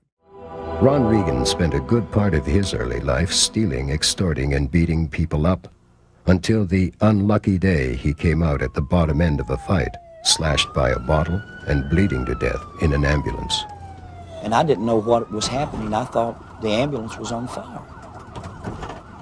And as it filled with thick black smoke, moving through the thick black cloud, almost like a, a opening in this thick blackness, and at some point, I began to hear screams. Multitudes of people screaming and wailing. And the best way I can describe it is it, it looked like a, a volcanic crater. And I could see like a huge lake inside this. But it was blazing with fire. I never seen anything like this with the exception of hundreds of gallons of gasoline poured on the surface of water and ignited. But even, even worse than the, the sight, I began to, to see and to know that these voices were coming from those flames. And then I began to see bodies, silhouettes of human beings screaming on fire, burning, but they weren't burning up. they were in, in an inferno of flames, but they weren't burning up. And they were screaming, and, and the smell. If you've ever smelled burning flesh, it, it was unbearable. And the screams were unbearable, but the most horrible thing was the pain, the emotional pain of loneliness and separation. And I saw other people, and they're saying, Ronnie, don't come here. There's no way out. Ron Reagan became a Christian minister, preaching the gospel from his own experience. Well, I have nothing against becoming a Christian minister. After all, I became one myself. But I have to admit that many researchers in the field of paranormal experience see these kinds of claims as culturally determined. We die the life we live. That the events of our own life are replayed when we die, and that our own religious beliefs and culture is mirrored back and reflected to us in the type of dying experience that we have. So it should not come as any surprise then that people who report hellish experiences are primarily fundamentalist Christians who have a deep belief in hell. To other people, the mere idea is absurd. It worries me that most NDE reports are coming from the States where there is this underlying Christian belief about heaven and hell. People like author Susan Blackmore, once a parapsychologist herself, but now a debunker of myths about the afterlife. I think there may be people who have had unpleasant NDEs, frightening NDEs, who don't dare talk about it because they feel, oh, that must mean I'm a bad person. And so they're really, really frightened and live with a kind of guilt that there must be something they've done wrong. If the truth is that it's just the luck of the draw, what the situation they were in and the chemicals in their brain at the time that produced this hellish NDE, they are suffering guilt for nothing, remorse for nothing, bad feelings for nothing. And therefore, I think the sooner we can understand these things properly, the sooner we can help people like that see that it's not their fault that they had a hellish NDE. Psychiatrist Dr. Stanislav Grof, who has spent a lifetime studying altered states, speculates that hell may in fact exist in another dimension of time and space. I see this as a real contact with the archetypal domain that has kind of independent existence, but, but uh, somehow touches upon that. If you look at um, the images of hells from different cultures, you'll see the different tortures that are being experienced there. You can see the nooses, uh, the, the, strangling, you can see the, the pitchforks, uh, you know, the, the spits, the sharp pains, uh, people cooking in, uh, or being cooked in uh, cauldrons and so on. To experiencing such extreme uh, emotional and physical states. When we think about heaven as it is described in spiritual scriptures, not as a as a powerful inner archetypal experience, but as the physical heaven, then we come to such conclusions that we have disproved the existence of angels and God because we have explored systematically the astronomical heavens and we haven't seen any of those entities. Or if we know that uh, there is heated uh, nickel and iron as the core of the earth, that there is no place for caves of Satan, uh, there cannot be hell there. So the idea is to get to hell or to heaven, uh, you change your consciousness. So somebody can be here with us and be in heaven or hell, while everybody else is in Mill Valley. Those two are not, uh, those two are not incompatible in any way. So those are very, very real experiences, uh, and they have to be studied by consciousness research. Uh, there's nothing that you can you can say reasonably about heaven or hell coming from physics or coming from biology or coming from, uh, from medicine because we are talking about states of, states of mind.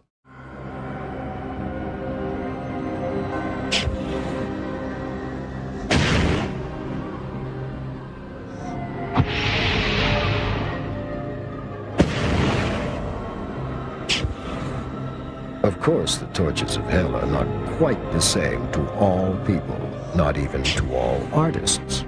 To some, they are good for a last laugh.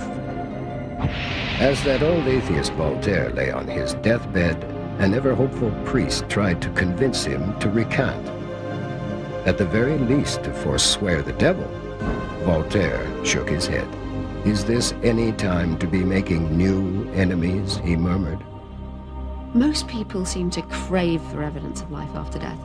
And I think this is quite natural because we spend our lives almost being taught that we matter. You know, I must get a bigger car, a bigger bag, bank balance. I must have people love me and approve of me. I must be nice to them so they'll like me.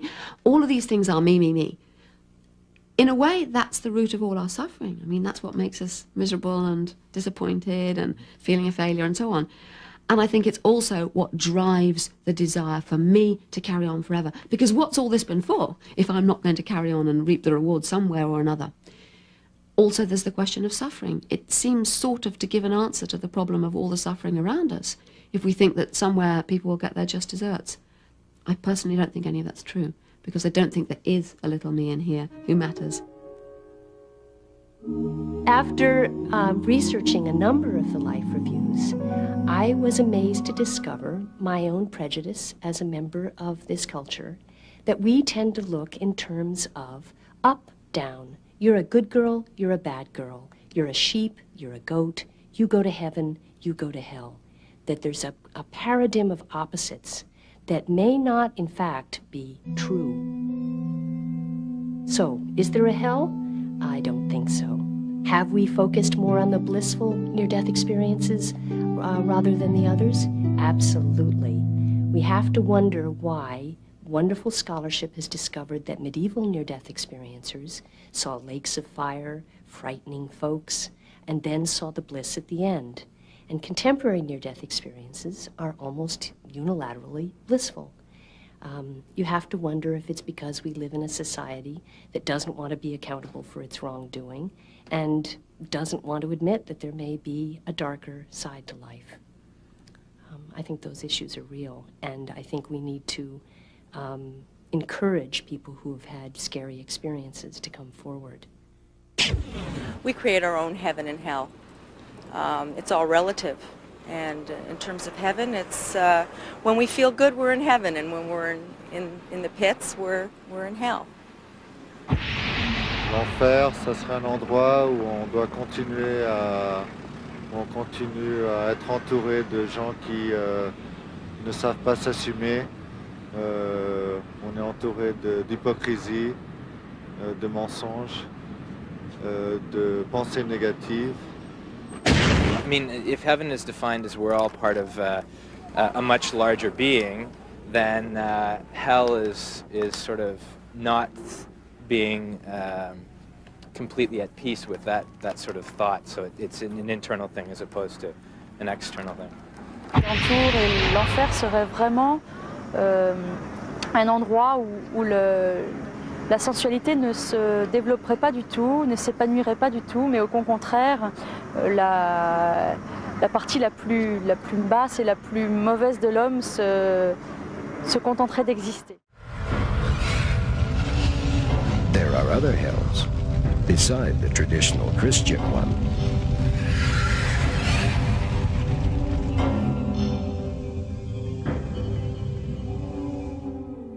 Darkness void, vacuum, loneliness, absence, nothingness, non existence.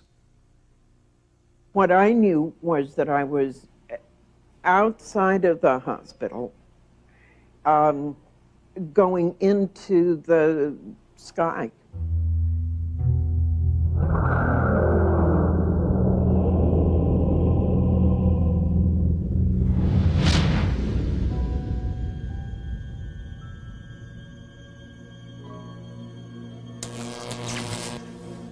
You never existed. You never will exist. 35 years ago, Nancy Evans Bush may have experienced the kind of hell referred to by Stan Grof when something went terribly wrong during childbirth. She has been trying to make sense of what happened ever since. You're not real. You never existed. Nothing you ever knew existed. You're not real. You never existed. Uh, you never will exist. Nor does anyone you think you ever knew, nor your life, nor where you live. You made it all up. You were allowed to make it up. Um, which meant that not only did I not exist, I said, I remember saying telepathically, uh, but the baby. The baby doesn't exist. Her year old sister doesn't exist. Your mother, your husband, nobody you know exists. You're not real. And nothing you know is real. I've, called it instant Holocaust. Nancy believes she has come to terms with the hell she experienced so many years ago. But what about those people whose near-death experiences threw them into hell and who found no hope, no redemption, no promise of anything better, who came back to this life with the sense that all they have to look forward to is perpetual misery? There is a gift in these experiences. Now, it's not a gift we want to get. But if we're stubborn enough, and for some of us, this is the only benefit we've ever found for our stubbornness, but if we hang in there, we work through a lot of issues. We come to discover our religious faith in, in incredibly deep ways that we couldn't if we just kind of dazzled around on the happy level. So, what I'm trying to do is go beyond just the idea of pain equals bad, equals punishment, equals hell, equals eternity, equals despair. Because the alternative to despair I think is joy, which is different than happiness. But the paradoxical nature of this is that in order to get to real joy, we have to be able to accept suffering as part of it. And I know that sounds bizarre but I didn't make up the rules. And it just seems to work that way.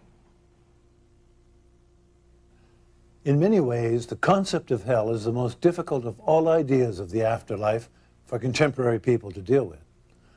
All of us have had moments of pure happiness or supreme exaltation about which we can truly say it was heaven. But hell is a different story. When we say something was hell, we don't mean it in quite the same way. Implicit in our idea of hell is the potential and the need to be released from it. When they made a movie about the most decorated soldier of World War II, they called it To Hell and Back. As far as I know, nobody's ever made a movie simply called To Hell, which is probably what's most nerve-wracking about hellish NDEs, that uncertainty about escape. Nancy Evans Bush, like any believing Christian, finds reason in her experience by affirming that only through suffering comes ultimate joy. But what if, as some hellish NDEs seem to demonstrate, it doesn't? A troubling question. And to be candid at this point, until more research into hellish NDEs has been done, I'm perfectly content not to know the answer.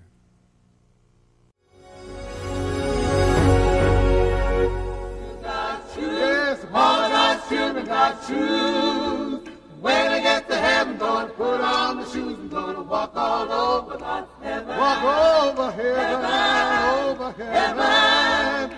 Everybody talking about heaven, ain't it going there? Heaven, heaven, gonna walk all over I went to heaven. As I was approaching it, I heard wind chimes well, it was a sound like wind chimes, but it was every conceivable tone you could imagine. It was awesome. I also heard hymns being sung, and the hymns were being sung simultaneously, but you could hear each individual one. No, that sounds totally ridiculous. But there was a great harmony about this tone, and it was uh, liquid, silvery. It was uh, beautiful, and this tone permeated all It was in a garden setting. And I looked down into a valley, and at the end of the valley, I saw this mountainside. And uh, there was a tremendous uh, waterfall. It was beautiful. And the water just cascaded down over this, down the mountainside. And to the left, there was like a vortex of light, like a tunnel of light. And I knew that that was home where I'd come from. It's really not the light that, that impressed me. It was, it was the feeling. Uh, it was a feeling of peace, uh, gentleness, at oneness with, with the universe, if you please, with life, with everything. Suddenly I'm floating back in that sky. Suddenly I'm at that moment where everything ends but everything's there and just heaven on earth.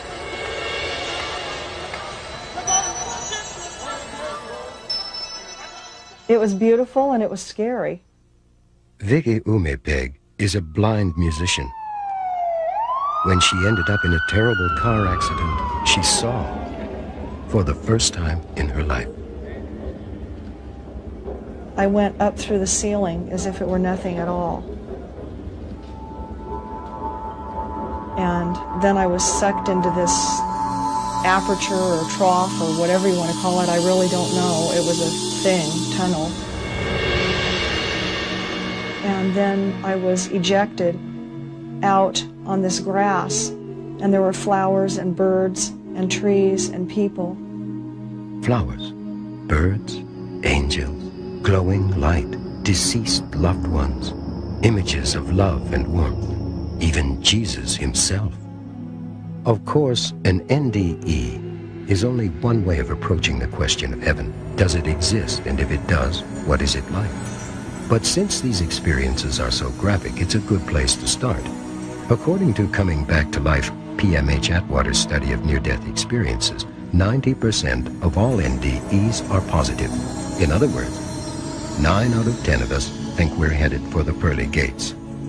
Mally Cox Chapman's book, The Case for Heaven, tells the stories of near-death experiencers who died and went to heaven, and then came back to talk about it.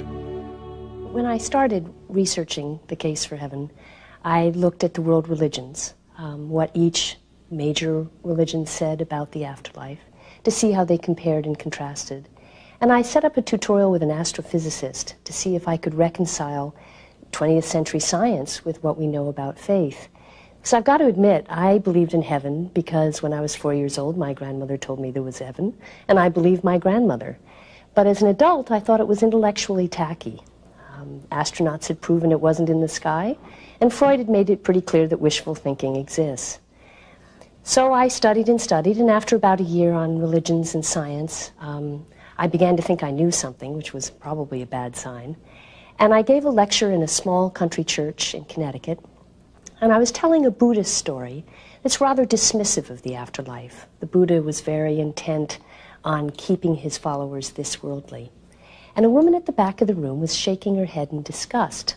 I thought that was pretty interesting and stopped my talk and called on her.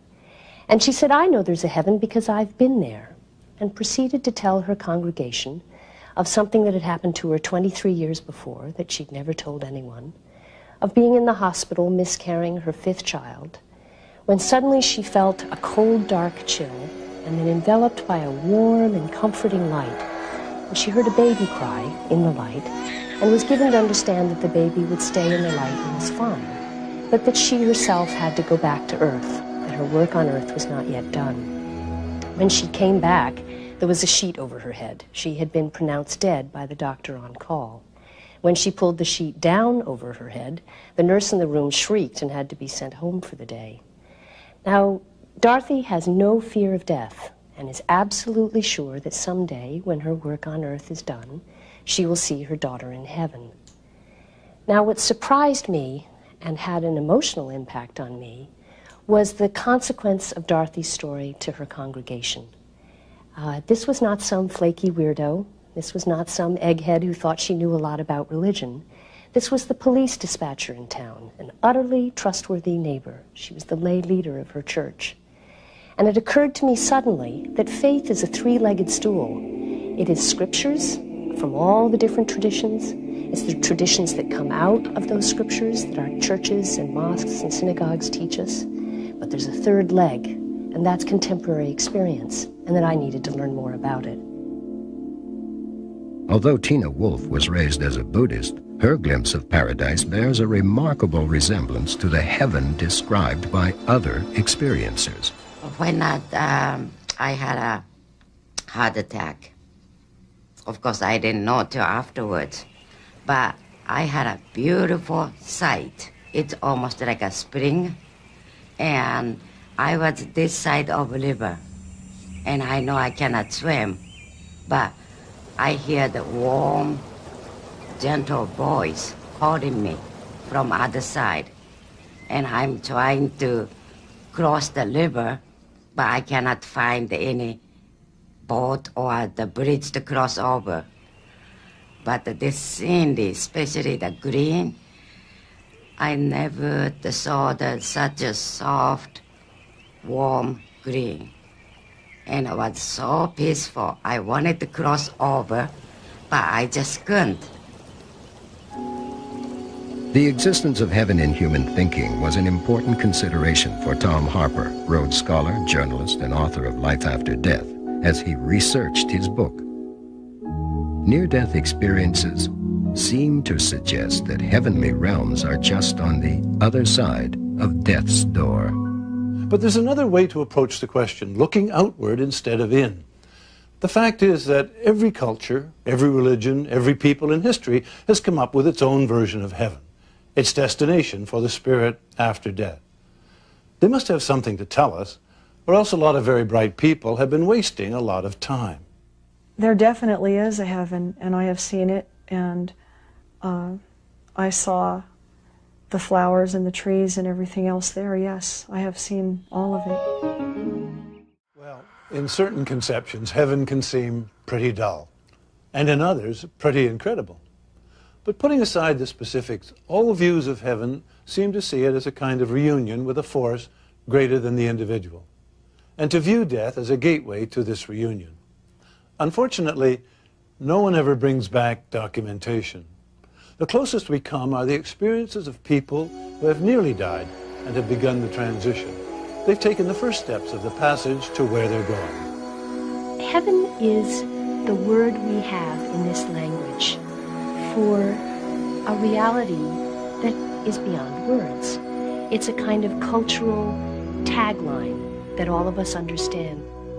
My experiencers of the 50 that I interviewed are actually quite modest about their claim of what they saw or how far they got or whether or not they actually were dead or participated in an afterlife. One of my experiencers said, You know, I got to the gate, but you have to go through the gate to get to the fun part. Another experiencer saw a beautiful golden tree composed of tiny little golden lights which she understood to be the souls of lots of people who loved her. I am not in a position, and I don't think anyone is, having studied heaven for five years, to describe heaven. All I can do is say I have so many stories and so much evidence of people who've traveled right up to the edge um, that we can afford to trust it.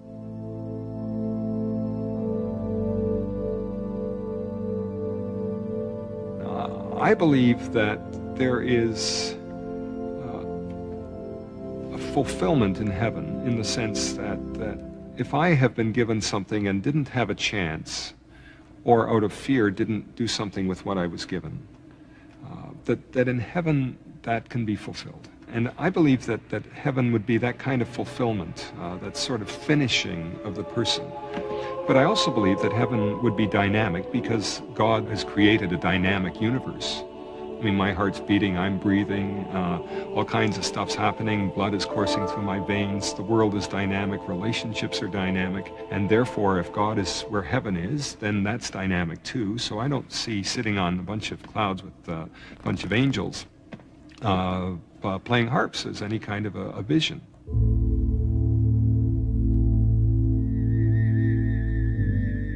Buddha said that the deliverance from suffering is the only salvation. Man must escape the enslavement of earthly desires. He must divest himself of all illusion of individuality and become one with the universe. Then, and only then, can he enter into the simultaneous extinction and ultimate bliss that is nirvana. To reach heaven is to enter into Buddhahood, to become God. Nothing remains in nirvana except goodness and purity. There was this anthropologist who was doing uh, research on, uh, uh, on death and dying among elderly people. So he went to South Korea and visited this uh, old age home where the occupants were uh, primarily Buddhists. And to his great surprise, and uh, these people facing death and dying, they were not so much afraid of death and dying. And the anxiety level was uh, much very low. And then uh, the reason he found was is um, you know they they don't you know they don't have the same concept of death you know as uh, people who believe in single life system have. You know I mean this is not the end. This is not the extinction. It's merely like you go through winter-like a period. You see. So it's uncomfortable, but you know there's a reassurance, you know, like, uh, uh, and then you'll come to spring. It's like when the winter comes, spring will not be far behind. You see, so there's hope, you know, and they'll have another opportunity. Islam is a faith of judgment. The Quran asserts, and we will set up a just balance so no soul shall be dealt with unjustly. And although there be the weight of a mustard seed, we will bring it forth and take account. And if the deceased has been a true believer, Allah will reward them for their steadfastness with a garden and a raiment of silk. Reclining therein upon couches, they will find there is neither excessive heat nor cold. Its clustered fruits will be brought within easy reach, and there will wait upon them youths who will not age. According to the Quran, heaven is what you would like it to be. It is the ideal utopia. So you'll face, you'll have houris, you will have uh, spouses, you will have uh, fruits, you will have uh, everything that your heart could desire. The Quran vividly describes the events on the day of judgment, wherein a sort of a scroll or a book, if you like, will be placed in front of each and every person and recounting each and every minor or major deed or misdeeds which he or she has committed uh, in this world. And they will then be judged according to their deeds. And if the good deeds outweigh the evil ones, the person will go to heaven. And if the evil deeds outweigh the good ones, he or she will go to hell. In traditional native belief, the spiritual and the natural are a unity. Death is part of the life process, and only those who have no idea how to live are fearful of dying. Death is the gateway to our return to the spiritual world. The spirit returns with the setting sun to the sacred way to reunite with the oneness of the earth. For the Ojibwe people, the land of the dead is like a place of plenty. I think it's because people, native people, traditionally have been hunters and gatherers and had a, a very difficult life. So in the afterlife, there's plenty of game to hunt. Um, there's plenty of food. In Ojibwe traditions and myths, there's a lot of mention of uh, lots of berries, blueberries, strawberries, raspberries. Uh, so there's an abundance of food, but always in, in the land of the dead, that's where you, you will find your ancestors and your friends who have passed on. Betty Eadie is the author of a worldwide bestseller entitled Embraced by the Light. During surgery at the age of 31, She literally died and went to heaven. Today, Betty travels widely and lectures about what happened to her. I saw this pinpoint of light, and this pinpoint of light uh, attracted me. So I turned and I began to travel very quickly, and the light became broader and, and bigger. Um, the love that was coming from that light began to surround me. And as I came to that intense light, I was taken to a, a garden. And I say garden because it was so manicured. And uh, there was a tremendous uh, waterfall. It was beautiful. And the water just cascaded down over this, down the mountainside. And everything there was alive. It had, um, it had uh, spirit. And I could see the beautiful flowers. And they were gorgeous. They were beyond, they are beyond any description. The colors, uh, the fragrance.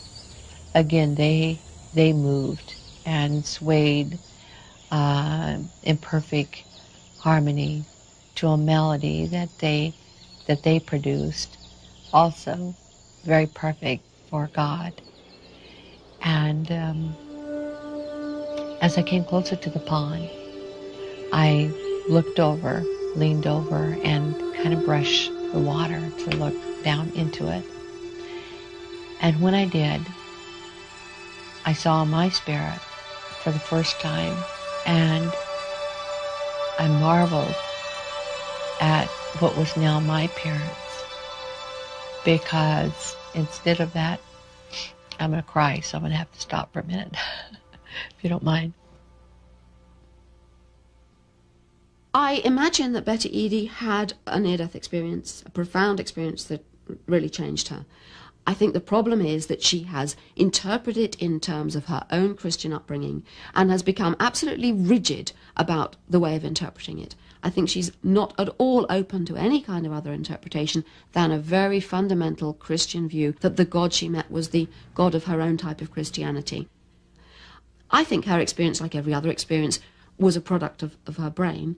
And I think it's a shame that she is pushing this view of, you know, I know the truth and you're all wrong, because her truth is not by any means the same as other NDEers or other people who've had mystical experiences. And I think that sort of rigid view does more harm than good. Here's something to consider. What do we need heaven for anyway? The skeptic might argue that heaven and hell are nothing more than a system of rewards and punishments we use to justify our own actions and to condemn those of people we don't like or perhaps as a way to keep certain people in power and promise others a reward after death, provided they don't make trouble in this life. Is that the real heaven? Pie in the sky when you die by and by? The promise of prizes? I think both the notion of heaven and hell are tied to the notion of uh, justice and retribution, uh, that uh, in a cosmic sense, uh, that uh, if we live in a universe that makes sense, uh, then we live in a universe that is, in, in a sense, fair. Uh, and, uh, and that means that there must be, I think, some final drawing of the line that certain people shouldn't get away with certain things and other people uh, shouldn't have to put up with what they put up with. And that's been a traditional argument in favor of some kind of afterlife to start with and then some kind of recompense at that stage. You know, a lot of people, probably many more than will admit it, have undergone out of body experiences that they feel brought them close to heaven. Indeed, in some cases, all the way there. And a great many more people believe they will encounter such an experience based on the sacred texts and the teachings of their religion. Is it all merely wish projection? Or is there truly a different dimension, as the vast majority have always thought? In the final analysis, most of us believe or intuitively think and hope there is.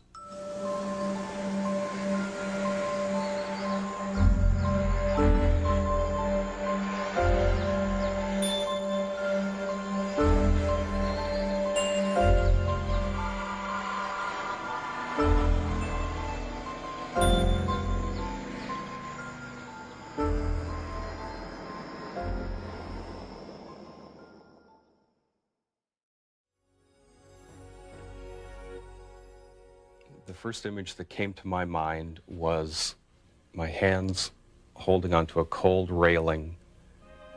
When Daryl Rooney was young, he found himself inexplicably fascinated by the story of the Titanic.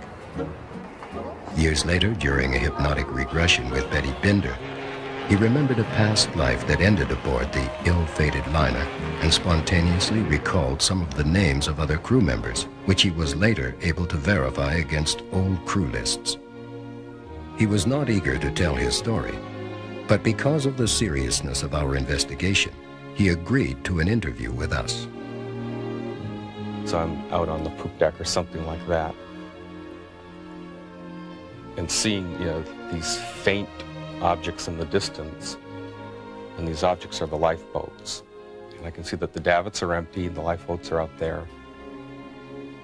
And that I'm staring my fate in, in the face. Uh, the lifeboats are gone, I'm going to go down with the ship. It's a memory that has terror attached to it. So, it, I mean, it's even disturbing to talk about it a little bit right now. The thing that really sticks out to me is the sound of timber cracking, creaking and cracking the way it's not supposed to. This heavy, heavy twisting sound. And emotional confusion everywhere. Things turning upside down and hitting water, getting caught up in ropes. So this is obviously when the ship broke up and sank. And sense of the hull of the ship there with portholes and then getting pulled down into the darkness of uh, this freezing cold water. And I remember all of the emotion that was attached to that, that this was a really terrifying, uh, terrifying moment to be experiencing. And the thing that, that made it really profound was, you know, it just was going, going, going, and then all of a sudden, all of the emotion just vanished. And uh, I was asked what happened that caused me to uh, become calm. And uh, what I said was that I separated from my body. And that's how, it, that's how I experienced it. Darrell came to me because he was afraid of the middle of the ocean. He was not afraid of seashores. I asked him what was scary for him, and he said, drowning in the middle of the ocean and being eaten by sharks. And he thought I would find that kind of strange, but I didn't. He was feeling very comfortable that I was accepting him whatever his beliefs and experiences were. You know, I don't go around telling people that uh, I had a past life on the Titanic. And, um, you know, for obvious reasons, because it's, uh, people don't always take kindly to it. But the reason that I'm willing to talk about it uh, is not so much about that experience as what the whole thing's about. The Daryl Rooney that I met in about 1981 um, had some bleed through from past life memories and in some ways was very different. The, the uh, personality who was on the Titanic was very nose to the grindstone. He worked in a boiler room and he went to work and on his off time he would go up one deck to uh, the bar and he'd hang out with his buddies and he never had any uh, life beyond his work. And he never went topside until the ship was sinking. And he came to do regression not related to his work, but related to a phobia that didn't seem to make sense. Stories like Darrell Rooney's convinced Tom Harpur, theologian, journalist, and best-selling author of Life After Death, that the whole concept of reincarnation needed special consideration. When I came to this point of my research, I knew that reincarnation, the idea that we keep coming back until we get it right, so to speak, was believed in by some early Christians. I was also aware, of course, that nearly two-thirds of humanity have always believed in it in one form or another over many thousands of years. It was important for me, therefore, to look at it as objectively as possible.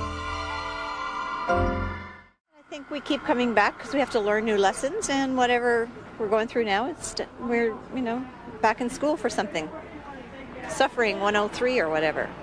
There are too many people on earth to die and go to heaven because heaven would be awfully crowded. You know? And so that's that's why I think that that you know people are reincarnated.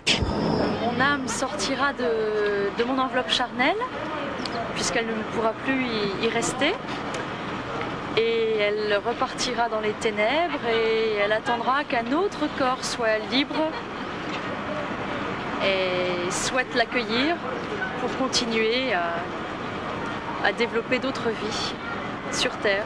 Sinon, elle continuera ses activités, mais en dehors du corps humain. The soul is sort of like energy, and what Einstein says about energy neither being created nor destroyed, but only transferred to another form, is basically what I believe about in spirituality. That the soul also is never destroyed, but merely goes on to another body. Um, apparently, one of them was I was a street urchin, and I've been a male in, a, in past lives. Um, I can see that, and there's a, I have a fair bit of androgyny, and uh, identify I identify on a fairly male plane, right? I may pose something that will be very disquieting to, to, to people or to those fates and people who think that there's only one life. But the reincarnation is the only rational answer that so far we can find for the inequities and disparities in life. Why has one born blind? Why some people are born handicapped? Mozart was born a genius at age four. He wrote his first great musical piece. What accounts for that? If there is a God and this God believes in justice, and He created all of us, why should He create one better than me? Why should someone suffer more than I do? Why should someone enjoy the bliss of life while others are suffering? And our answer is reincarnation. My first recollection of a past life experience was with a trained facilitator where I did several sessions with her. And then after feeling comfortable with the concept of how memories can come up, I began to have my own spontaneous past life memories. The most significant one for me was a lifetime in Europe and I remember being a rather young woman and being dressed in rather coarse clothing, muslin type material. There were three or four children there. I was trying to prepare a meal just out of water and vegetables, caring for them. There was no husband around. And the next memory that popped out of that was that he had gone away to war and he wasn't going to be returning. I had been left alone. And of course, that information began to dovetail with my own feelings of abandonment that I'd had all my life. So, in one life, Denise Lampron tells us she was an impoverished farm woman in medieval Europe. In another, she was reincarnated as a Native American male warrior. My Native American experience. Well, in that one, I was a male. I was a warrior, which is the issue is, is basically the same, just experienced it differently. I lost my spouse again in that lifetime. See, we're continuing with the same theme. And lost from my tribe for something that I believed in, which again is another issue in my life. My beliefs have always sort of segregated me from the group. So that was one where it was made clear to me that I was willing to suffer for what I believed in, or to sacrifice, let me put it that way, for what I believed in. Obviously, she believes what she says. But do we? To Christians, the idea that we can change, improve ourselves as we progress from one life to another runs counter to some central doctrines. For example, the unique importance of having only one life to live in this world the resurrection of the body, a final judgment, and even heaven itself.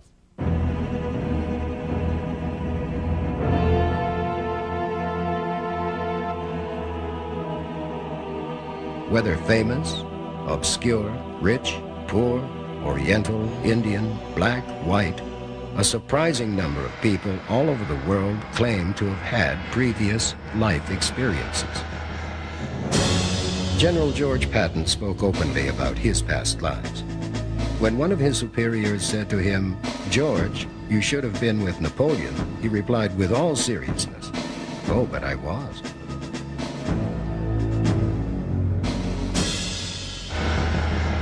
But how can people be sure that they are experiencing a past life?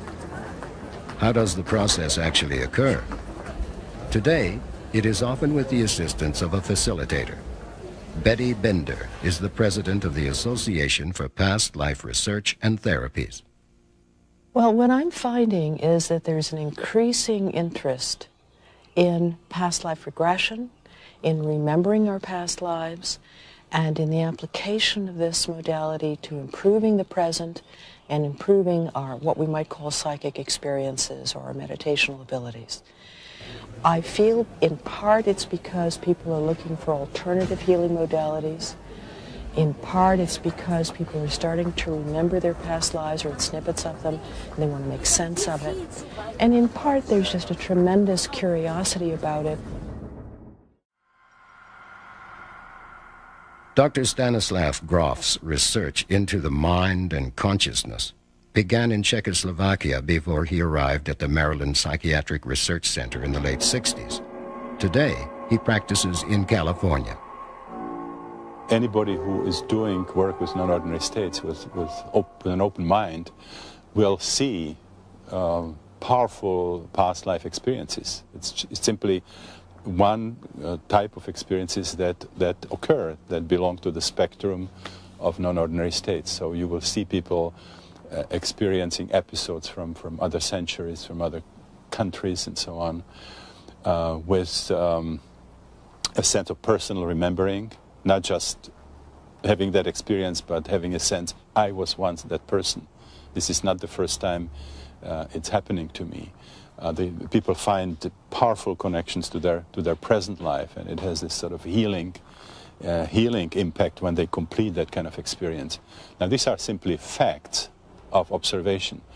Now, the interpretation of these observations in terms of survival of the same unit of consciousness is just one of the possible theories. It's a very good one. It's certainly much better than what we have in in traditional psychiatry where the whole thing is just discarded as, as uh, nonsense. I think the whole idea of reincarnation is incoherent. On the surface, it's a sort of attractive idea, uh, and it deals with the problem of suffering. You know, why should I have such a terrible life? Well, because I did something bad in a past life. Why should I be frightened of heights because something happened to me in the past life, and so on. But really, if you think what it could possibly mean, what could be reincarnated? For reincarnation, personal reincarnation, to make any kind of sense, there has to be a soul or a spirit or a me or something or other with memories. The whole idea wouldn't make much sense if we don't bring our memories from one life to the next. And clearly, on the whole, we don't. So I have enormous troubles with the whole idea of reincarnation in its more trivial sense, personal reincarnation. So when I read evidence for young children in India apparently remembering past lives, I have no idea what's going on. Much of it, if it's true, could be interpreted as telepathy, clairvoyance, other things if you believe in those. But in any case, I am not convinced by the evidence we have yet from hypnotic regression to past lives. None of those have really convinced me that they show the continuity of something from life to life.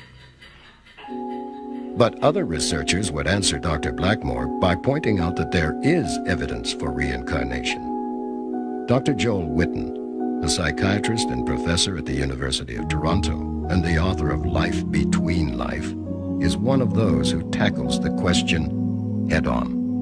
What is the evidence for the case for reincarnation?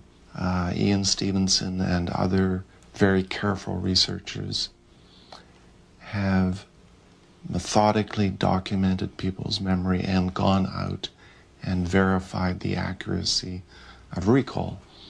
Uh, for example, um, a child may report being such and such a person in such a, a certain town. Uh, they did this, they lived at this address, they were married to this person, and Ian uh, or his researchers will interview the, the, the child to get the description, and then go to this place. And Ian Stevenson has well over 2,000 such cases. The bottom line was no one could find fault with his research, with the investigations. And the conclusion was you either accept the hypothesis, the notion of reincarnation, or you're forced to accept the hypothesis of super telepathy. Equal, each of them are, to the Western mind, equally implausible, incomprehensible. And yet, that's what the data says. It's an uh, endless journey, and we living beings are travelers. This is um, known in Buddhism as uh, samsara, or wheel of life. That means cycle of uh, continued existences or succession of a rebirth that an enlightened being goes through different forms of uh, existences. In Buddhism, we view living and dying in successive waves as divided into uh, three divisions. Present life and future life and intermediate stage or bardo that takes place between the present life and the future life. In other words, it is important to understand that in Buddhism, life and death is not once only event. The wheel of life. That raises a great many interesting questions. Do we, for example, retain any of the characteristics of our previous existence in a new one? Can we in some way choose our next incarnation? And perhaps the most interesting of all to me, if we've had past lives, why don't we remember them? There are several responses to that. Um, one is perhaps we haven't had any past lives. This might be our first incarnation. That is a possibility. Um, I have another uh, case where a person hasn't incarnated for so long that they can't there, there's nothing they can relate to, sort of like a caveman existence. But children, by and large, do remember. It's been my experience and the experience of many people who are familiar with the idea of reincarnation. If you take a child who's three or four that has sufficient language to understand what you mean, many children can simply tell you, oh, my, my name was Ethel, and I was uh, worked on a farm, and I was married to Sam, and uh, I think I had four kids. And I think I remember dying when I was 82 or something.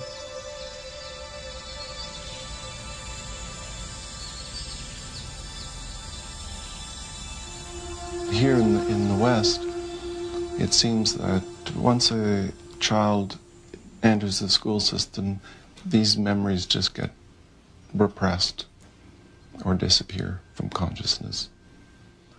And then later, as an adult, 20, 30, whatever, we have to struggle to try and remember.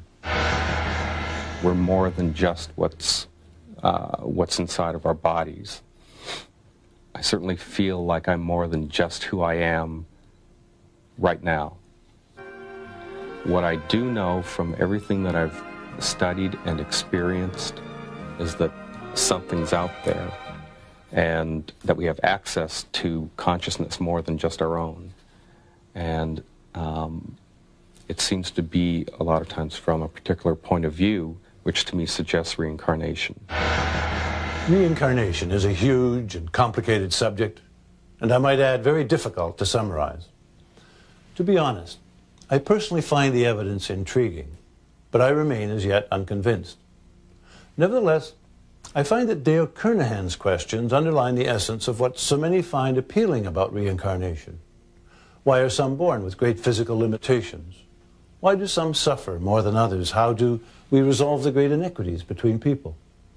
Reincarnation is certainly one answer.